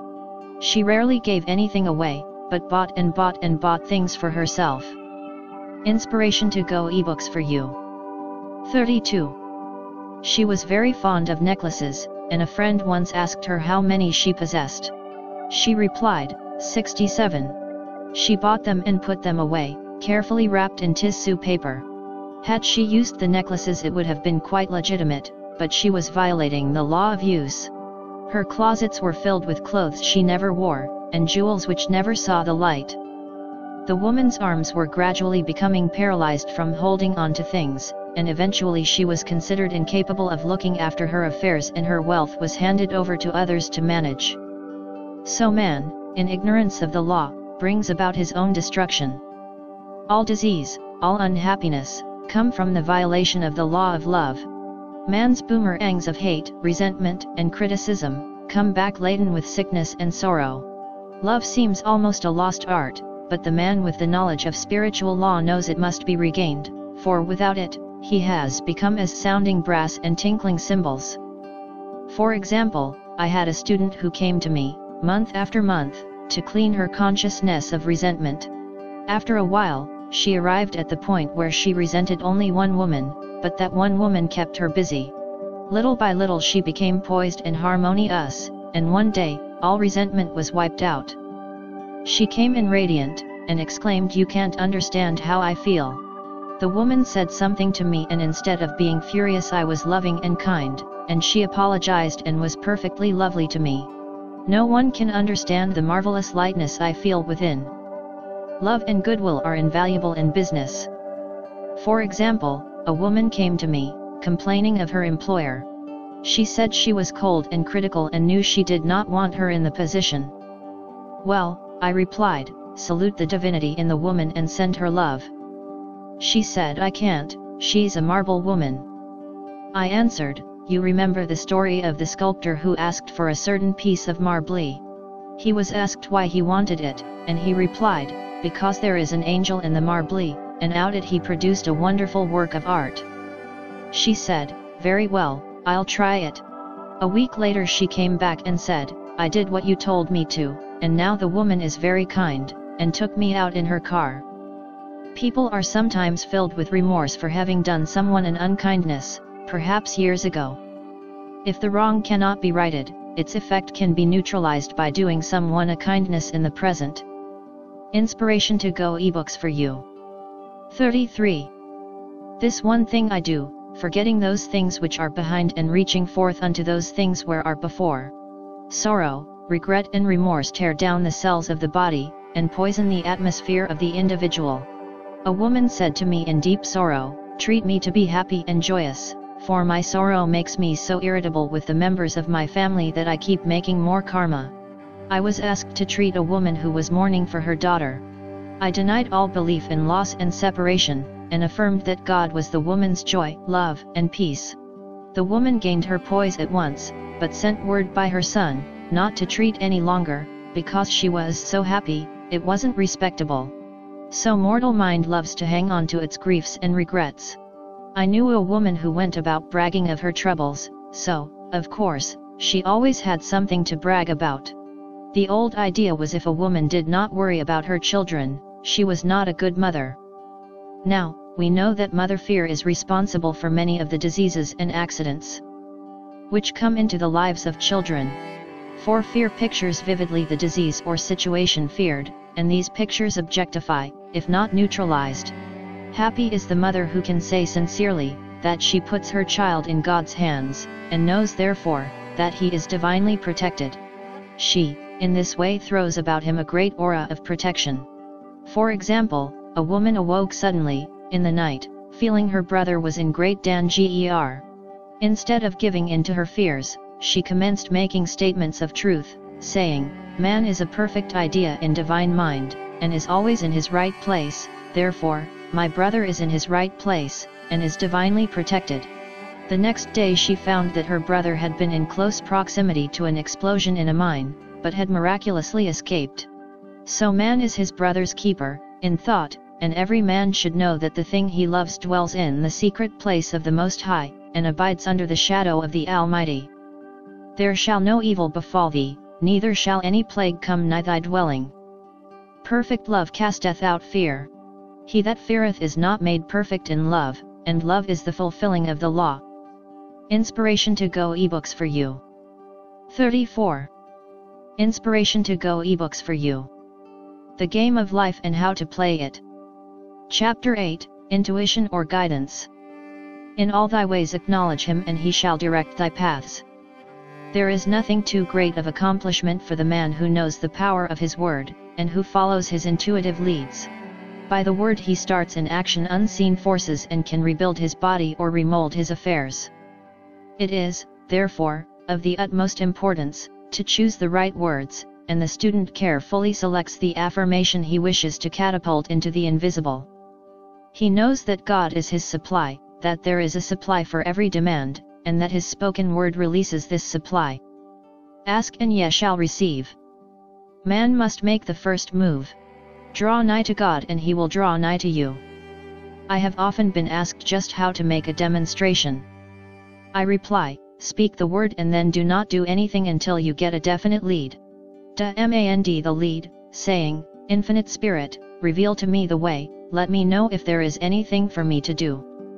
The answer will come through intuition, or hunch, a chance remark from someone, or a passage in a book, etc., etc. The answers are sometimes quite startling in their exactness. For example, a woman desired a large sum of money, she spoke the words, Infinite Spirit, open the way for my immediate supply, let all that is mine by divine right now reach me, in great avalanches of abundance. Then she added, Give me a definite lead, let me know if there is anything for me to do. The thought came quickly, give a certain friend, who had helped her spiritually, a hundred dollars. She told her friend, who said, wait and get another lead, before giving it. So she waited, and that day met a woman who said to her, I gave someone a dollar today, it was just as much for me, as it would be for you to give someone a hundred. This was indeed an unmistakable lead, so she knew she was right in giving the hundred dollars. It was a gift which proved a great investment, for shortly after that, a large sum of money came to her in a remarkable way. Giving opens the way for receiving. In order to create activity in finances, one should give. Tithing or giving one-tenth of one's income, is an old Jewish custom, and is sure to bring increase. Many of the richest men in this country have been tithers, and I have never known it to fail as an investment. 35. The tenth part goes forth and returns blessed and multiplied. But the gift or tithe must be given with love and cheerfulness, for God loveth a cheerful giver. Bills should be paid cheerfully, all money should be sent forth fearlessly and with a blessing. This attitude of mind makes man master of money. It is his to obey, and his spoken word then opens vast reservoirs of wealth. Man, himself, limits his supply by his limited vision. Sometimes the student has a great realization of wealth, but is afraid to act. The vision and action must go hand in hand, as in the case of the man who bought the fur-lined overcoat. A woman came to me asking me to speak the word for a position. So I demanded, in finite Spirit, open the way for this woman's right position. Never ask for just a position, ask for the right position, the place already planned in divine mind, as it is the only one that will give satisfaction. I then gave thanks that she had already received, and that it would manifest quickly. Very soon, she had three positions offered her, two in New York and one in Palm Beach, and she did not know which to choose. I said, ask for a definite lead. The time was almost up and was still undecided, when one day, she telephoned, when I woke up this morning, I could smell Palm Beach. She had been there before and knew its balmy fragrance. I replied, well, if you can smell Palm Beach from here, it is certainly your lead. She accepted the position, and it proved a great success. Often one's lead comes at an unexpected time. One day, I was walking down the street, when I suddenly felt a strong urge to go to a certain bakery, a block or two away. The reasoning mind resisted, arguing, there is nothing there that you want. However, I had learned not to reason, so I went to the bakery, looked at everything, and there was, certainly nothing there that I wanted, but coming out I encountered a woman I had thought of often, and who was in great need of the help which I could give her. So often, one goes for one thing and finds another. Intuition is a spiritual faculty and does not explain, but simply points the way. A person often receives a lead during a treatment. The idea that comes may seem quite irrelevant, but some of God's leadings are mysterious. Inspiration to Go ebooks for you. 36. In the class, one day, I was treating that each individual would receive a definite lead. A woman came to me afterwards, and said, While you were treating, I got the hunch to take my furniture out of storage and get an apartment. The woman had come to be treated for health. I told her I knew in getting a home of her own, her health would improve, and I added, I believe your trouble, which is a congestion, has come from having things stored away. Congestion of things causes congestion in the body. You have violated the law of use, and your body is paying the penalty. So I gave thanks that divine order was established in her mind, body, and affairs. People little dream of how their affairs react on the body. There is a mental correspondence for every disease. A person might receive instantaneous healing through the realization of his body being a perfect idea in divine mind, and, therefore, whole and perfect, but if he continues his destructive thinking, hoarding, hating, fearing, condemning, the disease will return. Jesus Christ knew that all sickness came from sin, but admonished the leper after the healing to go and sin no more, lest a worse thing come upon him. So man's soul, or subconscious mind, must be washed whiter than snow, for permanent healing, and the metaphysician is always delving deep for the correspondence. Jesus Christ said, Condemn not lest yet also be condemned. Judge not, that ye be judged. Many people have attracted disease and unhappiness through condemnation of others. What man condemns in others, he attracts to himself.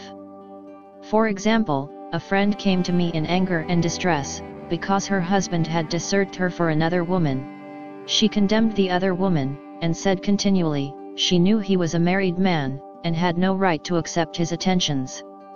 I replied, stop condemning the woman, bless her, and be through with the situation, otherwise, you are attracting the same thing to yourself. She was deaf to my words, and a year or two later, became deeply interested in a married man, herself. Man picks up a live wire whenever he criticizes or condemns, and may expect a shock. Indecision is a stumbling block in many a pathway. In order to overcome it, make the statement, repeatedly, I am always under direct inspiration, I make right decisions, quickly. These words impress the subconscious, and soon one finds himself awake and alert, making his right moves without hesitation. I have found it destructive to look to the psychic plane for guidance, as it is the plane of many minds and not the, the one mind. Inspiration to Go ebooks for you. 37. As man opens his mind to subjectivity, he becomes a target for destructive forces. The psychic plane is the result of man's mortal thought, and is on the plane of opposites. He may receive either good or bad messages. The science of numbers and the reading of horoscopes, keep man down on the mental, or mortal, plane, for they deal only with the karmic path. I know of a man who should have been dead, years ago, according to his horoscope, but he is alive and a leader of one of the biggest movements in this country for the uplift of humanity. It takes a very strong mind to neutralize a prophecy of evil. The student should declare, every false prophecy shall come to naught, every plan my Father in heaven has not planned, shall be dissolved and dissipated, the divine idea now comes to pass. However, if any good message has ever been given one, of coming happiness or wealth, harbor and expect it, and it will manifest sooner or later, through the law of expectancy. Man's will should be used to back the universal will. I will that the will of God be done. It is God's will to give every man, every righteous desire of his heart, and man's will should be used to hold the perfect vision, without wavering. The prodigal son said, I will arise and go to my father. It is, indeed, often an effort of the will to leave the husks and swine of mortal thinking. It is so much easier, for the average person, to have fear than faith, so faith is an effort of the will. As man becomes spiritually awakened he recognizes that any external inharmony is the correspondence of mental inharmony. If he stumbles or falls, he may know he is stumbling or falling in consciousness. One day, a student was walking along the street condemning someone in her thoughts. She was saying, mentally, that woman is the most disagreeable woman on earth, when suddenly three Boy Scouts rushed around the corner and almost knocked her over. She did not condemn the Boy Scouts, but immediately called on the law of forgiveness, and saluted the divinity in the woman. Wisdom's way are ways of pleasantness and all her paths are peace. When one has made his demands upon the universal, he must be ready for surprises. Everything may seem to be going wrong, when in reality, it is going right. For example, a woman was told that there was no loss in divine mind, therefore, she could not lose anything which belonged to her, anything lost, would be returned, or she would receive its equivalent. Inspiration to Go ebooks for you. 38. Several years previously, she had lost $2,000. She had loaned the money to a relative during her lifetime, but the relative had died, leaving no mention of it in her will. The woman was resentful and angry, and as she had no written statement of the transaction, she never received the money, so she determined to deny the loss, and collect the $2,000 from the Bank of the Universal. She had to begin by forgiving the woman, as resentment and unforgiveness closed the doors of this wonderful bank. She made this statement, I deny loss, there is no loss in divine mind, therefore, I cannot lose the $2,000, which belong to me by divine right. As one door shuts another door opens. She was living in an apartment house which was for sale, and in the lease was a clause, stating that if the house was sold, the tenants would be required to move out within 90 days. Suddenly, the landlord broke the leases and raised the rent. Again, injustice was on her pathway, but this time she was undisturbed. She blessed the landlord, and said, As the rent has been raised, it means that I'll be that much richer, for God is my supply. New leases were made out for the advanced rent, but by some divine mistake, the 90 days clause had been forgotten. Soon after, the landlord had an opportunity to sell the house. On account of the mistake in the new leases, the tenants held possession for another year. The agent offered each tenant $200 if he would vacate. Several families moved, three remained, including the woman. A month or two passed, and the agent again appeared. This time he said to the woman, Will you break your lease for the sum of $1,500? It flashed upon her, here comes the $2,000. She remembered having said to friends in the house, we will all act together if anything more is said about leaving. So her lead was to consult her friends. These friends said, well, if they have offered you 1500 they will certainly give 2000. So she received a check for $2,000 for giving up the apartment. It was certainly a remarkable working of the law, and the apparent injustice was merely opening the way for her demonstration. It proved that there is no loss, and when man takes his spiritual stand, he collects all that is his from this great reservoir of good. I will restore to you the years the locusts have eaten. The locusts are the doubts, fears, resentments, and regrets of mortal thinking. These adverse thoughts, alone, rob man, for no man gives to himself but himself, and no man takes away from himself, but himself. Man is here to prove God and to bear witness to the truth, and he can only prove God by bringing plenty out of lack, and justice out of injustice. Prove me now herewith, saith the Lord of hosts, if I will not open you the windows of heaven, and pour out a blessing, that there shall not be room enough to receive it. Inspiration to Go ebooks for you. 39. Inspiration to Go ebooks for you. The Game of Life and How to Play It. Chapter 9 Perfect Self Expression or the Divine Design. No wind can drive my bark astray nor change the tide of destiny. There is for each man, perfect self expression. There is a place which he is to fill and no one else can fill, something which he is to do, which no one else can do, it is his destiny.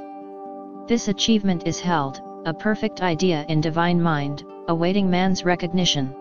As the imaging faculty is the creative faculty, it is necessary for man to see the idea, before it can manifest. So man's highest demand is for the divine design of his life. He may not have the faintest conception of what it is, for there is, possibly, some marvelous talent, hidden deep within him. His demand should be, Infinite Spirit, open the way for the divine design of my life to manifest, let the genius within me now be released, let me see clearly the perfect plan. The perfect plan includes health, wealth, love, and perfect self-expression. This is the square of life, which brings perfect happiness.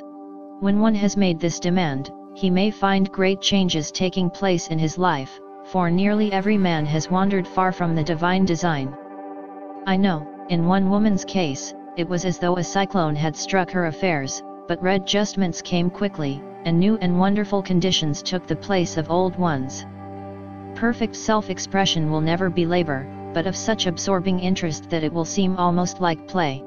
The student knows, also, as man comes into the world financed by God, the supply needed for his perfect self-expression will be at hand. Many a genius has struggled for years with the problem of supply, when his spoken word, and faith, would have released quickly, the necessary funds. For example, after the class, one day, a man came to me and handed me a cent. He said, I have just seven cents in the world, and I'm going to give you one, for I have faith in the power of your spoken word. I want you to speak the word for my perfect self-expression and prosperity. I spoke the word, and did not see him again until a year later. He came in one day, successful and happy, with a roll of yellow bills in his pocket. He said, Immediately after you spoke the word, I had a position offered me in a distant city, and am now demonstrating health, happiness, and supply. 40. A woman's perfect self-expression may be in becoming a perfect wife, a perfect mother, a perfect homemaker and not necessarily in having a public career. Demand definite leads, and the way will be made easy and successful. One should not visualize or force a mental picture. When he demands the divine design to come into his conscious mind, he will receive flashes of inspiration, and begin to see himself making some great accomplishment. This is the picture, or idea, he must hold without wavering. The thing man seeks is seeking him the telephone was seeking Bell. Parents should never force careers and professions upon their children. With a knowledge of spiritual truth, the divine plan could be spoken for, early in childhood, or prenatally. A prenatal treatment should be, let the God in this child have perfect expression, let the divine design of his mind, body, and affairs be made manifest throughout his life, throughout eternity. God's will be done, not man's, God's pattern, not man's pattern, is the command we find running through all the scriptures, and the Bible is a book dealing with the science of the mind. It is a book telling man how to release his soul, or subconscious mind, from bondage. The battles described are pictures of man waging war against mortal thoughts. A man's foes shall be they of his own household. Every man is Jehoshaphat, and every man is David, who slays Goliath, mortal thinking, with the little white stone, faith. So man must be careful that he is not the wicked and slothful servant who buried his talent there is a terrible penalty to be paid for not using one's ability. Often fear stands between man and his perfect self-expression. Stage fright has hampered many a genius. This may be overcome by the spoken word, or treatment. The individual then loses all self-consciousness, and feels simply that he is a channel for infinite intelligence to express itself through. He is under direct inspiration, fearless, and confident, for he feels that it is the Father within him who does the work. A young boy came often to my class with his mother. He asked me to speak the word for his coming examinations at school. I told him to make the statement, I am one with infinite intelligence. I know everything I should know on this subject. He had an excellent knowledge of history, but was not sure of his arithmetic. I saw him afterwards, and he said, I spoke the word for my arithmetic, and passed with the highest honors, but thought I could depend on myself for history, and got a very poor mark. Man often receives a setback when he is too sure of himself, which means he is trusting to his personality and not the Father within. Inspiration to Go ebooks for you. 41. Another one of my students gave me an example of this. She took an extended trip abroad one summer, visiting many countries, where she was ignorant of the languages. She was calling for guidance and protection every minute, and her affairs went smoothly and miraculously. Her luggage was never delayed nor lost.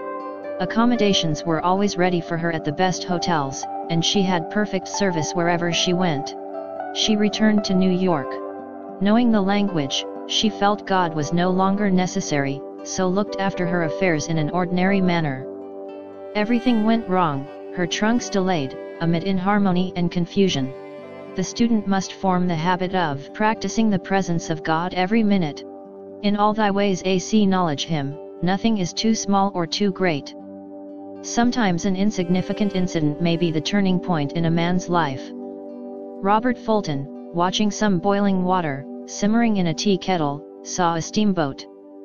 I have seen a student, often, keep back his demonstration through resistance or pointing the way.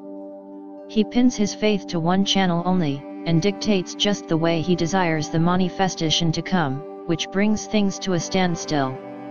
My way, not your way, is the command of infinite intelligence. Like all power, be it steam or electricity, it must have a non-resistant engine or instrument to work through, and man is that engine or instrument. Over and over again, man is told to stand still. O Judah, fear not, but tomorrow go out against them, for the Lord will be with you. You shall not need to fight this battle, set yourselves, stand ye still, and see the salvation of the Lord with you. We see this in the incident of the $2,000 coming to the woman through the landlord when she became non-resistant and undisturbed, and the woman won the man's love after all suffering had ceased. The student's goal is poise. Poise is power, for it gives God power a chance to rush through man, to will and to do its good pleasure poised, he thinks clearly, and makes right decisions quickly. He never misses a trick. Anger blurs the visions, poisons the blood, is the root of many diseases, and causes wrong decision leading to failure. It has been named one of the worst sins, as its reaction is so harmful. The student learns that in metaphysics sin has a much broader meaning than in the old teaching. Whatsoever is not of faith is sin. He finds that fear and worry are deadly sins. They are inverted faith, and through distorted mental pictures, bring to pass the thing he fears. His work is to drive out these enemies, from the subconscious mind. When man is fearless he is finished. Maeterlinck says, that man is God afraid. Inspiration to Go ebooks for you. 42. So, as we read in the previous chapters, man can only vanquish fear by walking up to the thing he is afraid of. When Jehoshaphat and his army prepared to meet the enemy, singing Praise the Lord, for his mercy endureth forever, they found their enemies had destroyed each other, and there was nothing to fight. For example, a woman asked 42. So, as we read in the previous chapters, man can only vanquish fear by walking up to the thing he is afraid of. When Jehoshaphat and his army prepared to meet the enemy, singing Praise the Lord, for his mercy endureth forever, they found their enemies had destroyed each other, and there was nothing to fight. For example, a woman asked a friend to deliver a message to another friend. The woman feared to give the message, as the reasoning mind said, Don't get mixed up in this affair, don't give that message. She was troubled in spirit, for she had given her promise. At last, she determined to walk up to the lion, and call on the law of divine protection. She met the friend to whom she was to deliver the message. She opened her mouth to speak it, when her friend said, So and so has left town. This made it unnecessary to give the message, as the situation depended upon the person being in town. As she was willing to do it, she was not obliged to, as she did not fear, the situation vanished. The student often delays his demonstration through a belief in incompletion. He should make this statement. In divine mind there is only completion, therefore, my demonstration is completed. My perfect work, my perfect home, my perfect health. Whatever he demands are perfect ideas registered in divine mind, and must manifest, under grace in a perfect way. He gives thanks he has already received on the invisible, and makes active preparation for receiving on the visible. One of my students was in need of a financial demonstration, she came to me and asked why it was not completed. I replied, Perhaps, you are in the habit of leaving things unfinished, and the subconscious has gotten into the habit of not completing, as the without, so the within, dot. She said, You are right. I often begin things and never finish them. I'll go home and finish something I commenced weeks ago, and I know it will be symbolic of my demonstration. So she sewed assiduously, and the article was soon completed. Shortly after, the money came in a most curious manner. Her husband was paid his salary twice that month. He told the people of their mistake, and they sent word to keep it. When man ask, believing, he must receive, for God creates his own channels. I have been sometimes asked, suppose one has several talents, how is he to know which one to choose? Demand to be shown definitely. Say, Infinite Spirit, give me a definite lead, reveal to me my perfect self-expression, show me which talent I am to make use of now. I have known people to suddenly enter a new line of work, and be fully equipped, with little or no training. So make the statement, I am fully equipped for the divine plan of my life, and be fearless in grasping opportunities. Inspiration to Go ebooks for you. 43. Some people are cheerful givers, but bad receivers. They refuse gifts through pride, or some negative reason, thereby blocking their channels, and invariably find themselves eventually with little or nothing. For example, a woman who had given away a great deal of money, had a gift offered her of several thousand dollars. She refused to take it, saying she did not need it. Shortly after that, her finances were tied up, and she found herself in debt for that amount. Man should receive gracefully the bread returning to him upon the water freely ye have given, freely ye shall receive. There is always the perfect balance of giving and receiving, and though man should give without thinking of returns, he violates law if he does not accept the returns which come to him, for all gifts are from God, man being merely the channel. A thought of lack should never be held over the giver. For example, when the man gave me the one cent, I did not say, poor man, he cannot afford to give me that. I saw him rich and prosperous, with his supply pouring in.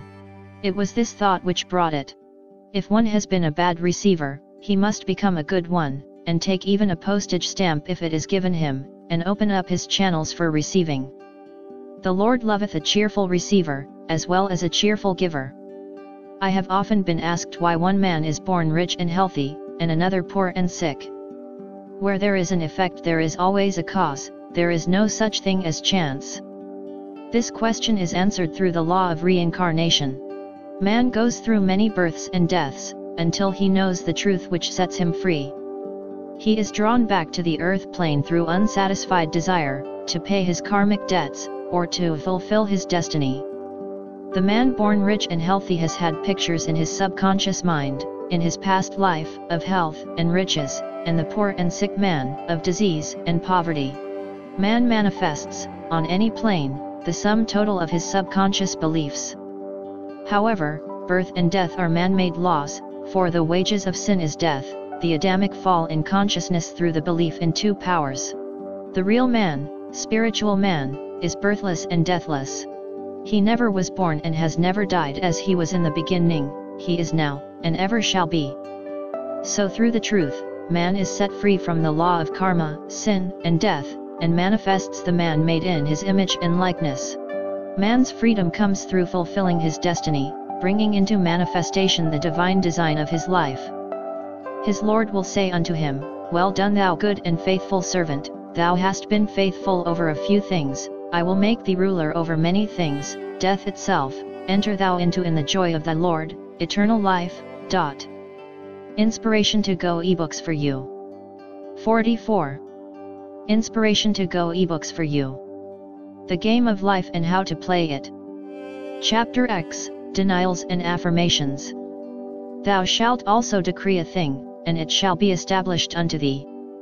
All the good that is to be made manifest in man's life is already an accomplished fact in divine mind, and is released through man's recognition, or spoken word, so he must be careful to decree that only the divine idea be made manifest, for often, he decrees, through his idle words, failure or misfortune. It is, therefore, of the utmost importance, to word one's demands correctly, as stated in a previous chapter. If one desires a home, friend, position, or any other good thing, make the demand for the divine selection. For example, Infinite Spirit, open the way for my right home, my right friend, my right position. I give thanks it now manifests under grace in a perfect way. The latter part of the statement is most important. For example, I knew a woman who demanded a thousand dollars. Her daughter was injured and they received a thousand dollars indemnity, so it did not come in a perfect way. The demand should have been worded in this way, Infinite Spirit, I give thanks that the $1,000, which is mine by divine right, is now released, and reaches me under grace, in a perfect way.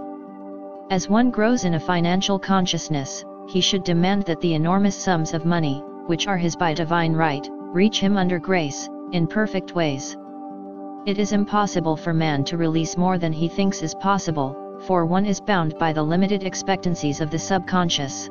He must enlarge his expectancies in order to receive in a larger way.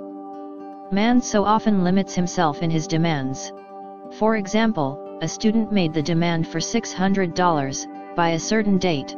He did receive it, but heard afterwards that he came very near receiving $1,000, but he was given just 600, as the result of his spoken word. They limited the Holy One of Israel. Wealth is a matter of consciousness. The French have a legend giving an example of this. A poor man was walking along a road when he met a traveler, who stopped him and said, My good friend, I see you are poor, take this gold nugget, sell it, and you will be rich all your days. The man was overjoyed at his good fortune, and took the nugget home. He immediately found work and became so prosperous that he did not sell the nugget. Years passed, and he became a very rich man. One day he met a poor man on the road. He stopped him and said, My good friend, I will give you this gold nugget, which, if you sell, will make you rich for life. The mendicant took the nugget, had it valued, and found it was only brass. So we see, the first man became rich through feeling rich, thinking the nugget was gold. Every man has within himself a gold nugget, it is his consciousness of gold, of opulence, which brings riches into his life. In making his demands, man begins at his journey's end, that is, he declares he has already received. Before ye call I shall answer. Continually affirming, establishes the belief in the subconscious. It would not be necessary to make an affirmation more than once if one had perfect faith. One should not plead or supplicate, but give thanks, repeatedly that he has received. The desert shall rejoice and blossom as the rose. This rejoicing while yet in the desert, state of consciousness, opens the way for release. The Lord's Prayer is in the form of command and demand. Give us this day our daily bread, and forgive us our debts as we forgive our debtors, and ends in praise, for thine is the kingdom and the power and the glory, forever. Amen. Concerning the works of my hands, command ye me. So prayer is command and demand, praise and thanksgiving. The student's work is in making himself believe that with God all things are possible. This is easy enough to state in the abstract, but a little more difficult when confronted with a problem.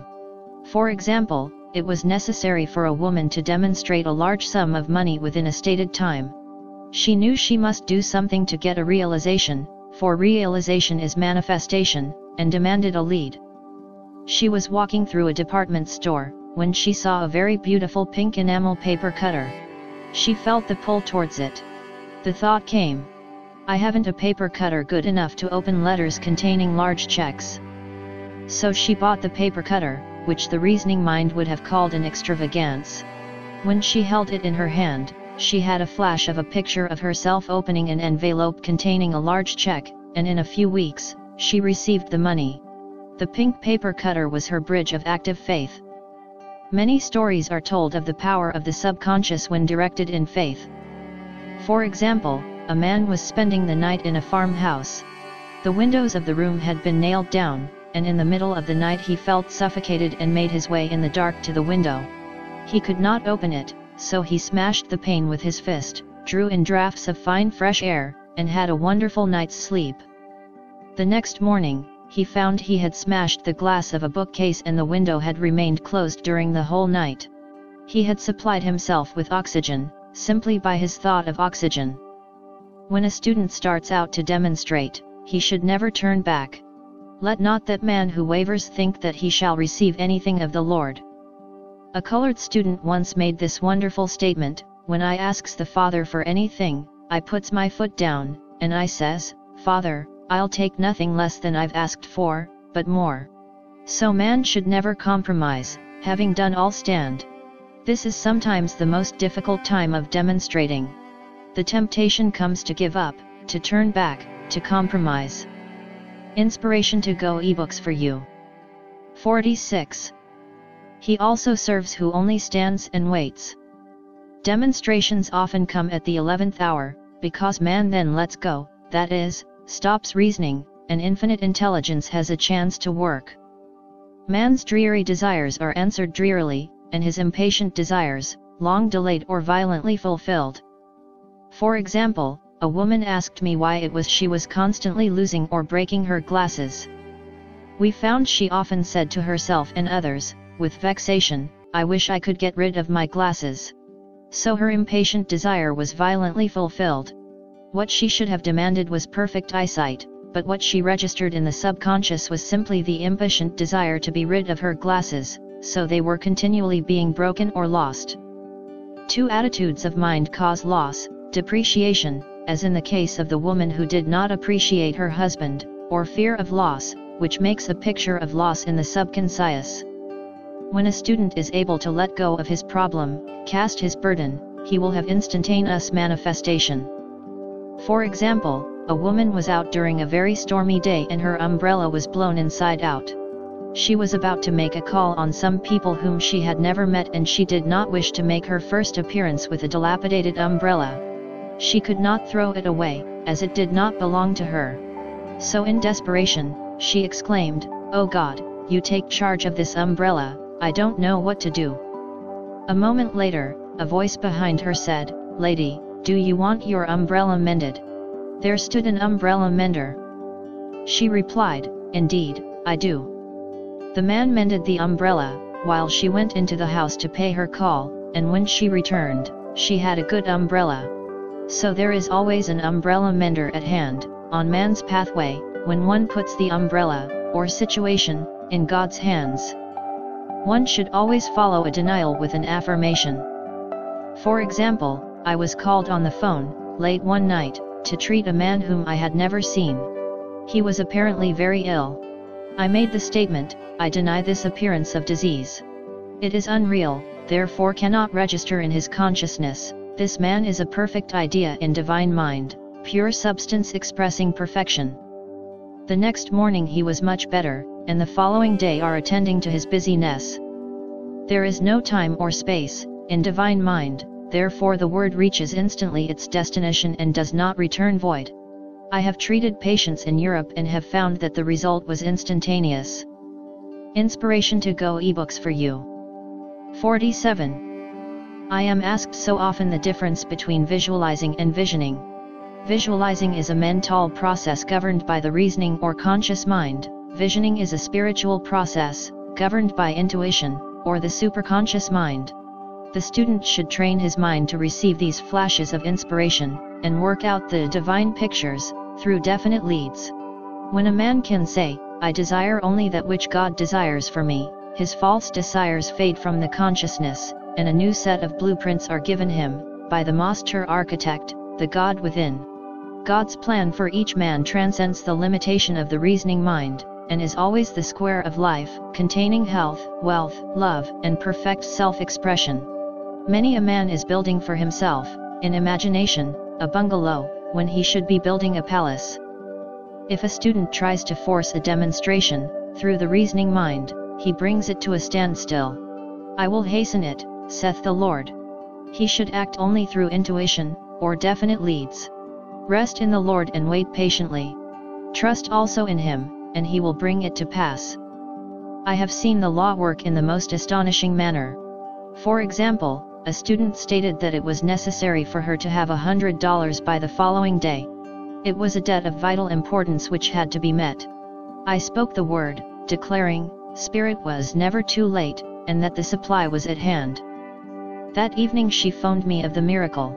She said that the thought came to her to go to her safety deposit box at the bank to examine some papers. She looked over the pop purse, and at the bottom of the box, was a new $100 bill.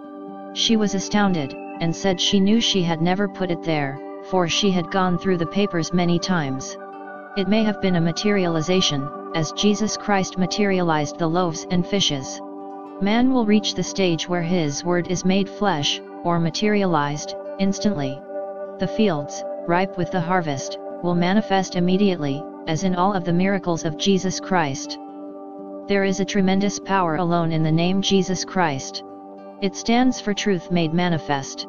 He said, Whatsoever yet ask the Father, in my name, he will give it to you. The power of this name raises the student into the fourth dimension, where he is freed from all astral and psychic influences, and he becomes unconditioned and absolute, as God Himself is unconditioned and absolute.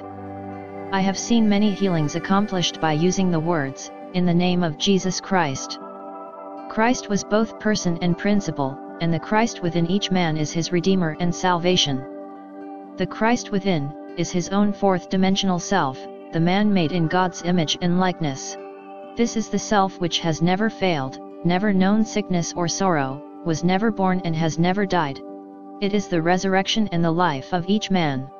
No man cometh to the Father save by the Son, means, that God, the universal, working on the plane of the particular, becomes the Christ in man, and the Holy Ghost, means God in Ascension. So daily, man is manifesting the Trinity of Father, Son, and Holy Ghost. Inspiration to Go ebooks for you. 48. Man should make an art of thinking. The master thinker is an artist, and is careful to paint only the divine designs upon the canvas of his mind, and he paints these pictures with masterly strokes of power and decision, having perfect faith that there is no power to mar their perfection, and that they shall manifest in his life, the ideal made real. All power is given man, through right thinking, to bring his heaven upon his earth, and this is the goal of the game of life. The simple rules are fearless faith, non-resistance, and love. May each reader be now freed from that thing which has held him in bondage through the ages, standing between him and his own, and know the truth which makes him free free to fulfill his destiny, to bring into manifestation the divine design of his life, health, wealth, love, and perfect self-expression. Be yet transformed by the renewing of your mind. Inspiration to Go ebooks for you. 49. Denials and Affirmations. For prosperity, God is my unfailing supply, and large sums of money come to me quickly, under grace, in perfect way. For right conditions, every plan my Father in heaven has not planned, shall be dissolved and dissipated, and the divine idea now comes to pass. For right conditions, only that which is true of God is true of me, for I and the Father are one. For faith, as I am one with God, I am one with my good, for God is both the giver and the gift. I cannot separate the giver from the gift. For right conditions, divine love now dissolves and dissipates every wrong condition in my mind, body, and affairs. Divine love is the most powerful chemical in the universe, and dissolves everything which is not of itself.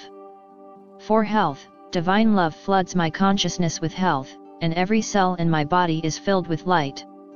For the eyesight, my eyes are God's eyes, I see with the eyes of spirit. I see clearly the open way, there are no obstacles on my pathway. I see clearly the perfect plan. Inspiration to Go ebooks for you. 50. For guidance, I am divinely sensitive to my intuitive leads, and give instant obedience to thy will. For the hearing. My ears are God's ears, I hear with the ears of spirit. I am non-resistant and am willing to be led. I hear glad tidings of great joy. For right work. I have a perfect work in a perfect way, I give perfect service for perfect pay. For freedom from all bondage.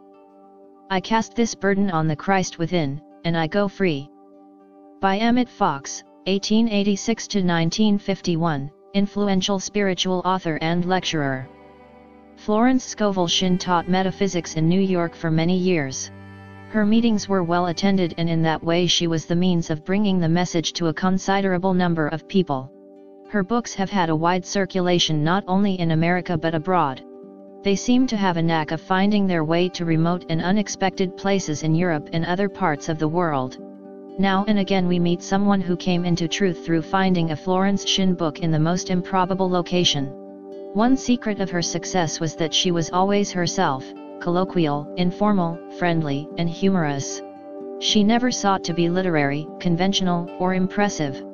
For this REA Sun she appealed to thousands who would not have taken the spiritual message through the more conservative and dignified forms, or have been willing to read at least in the beginning the standard metaphysical books. She herself was very spiritual, although this was usually hidden behind a matter of fact and carefree treatment of her subject.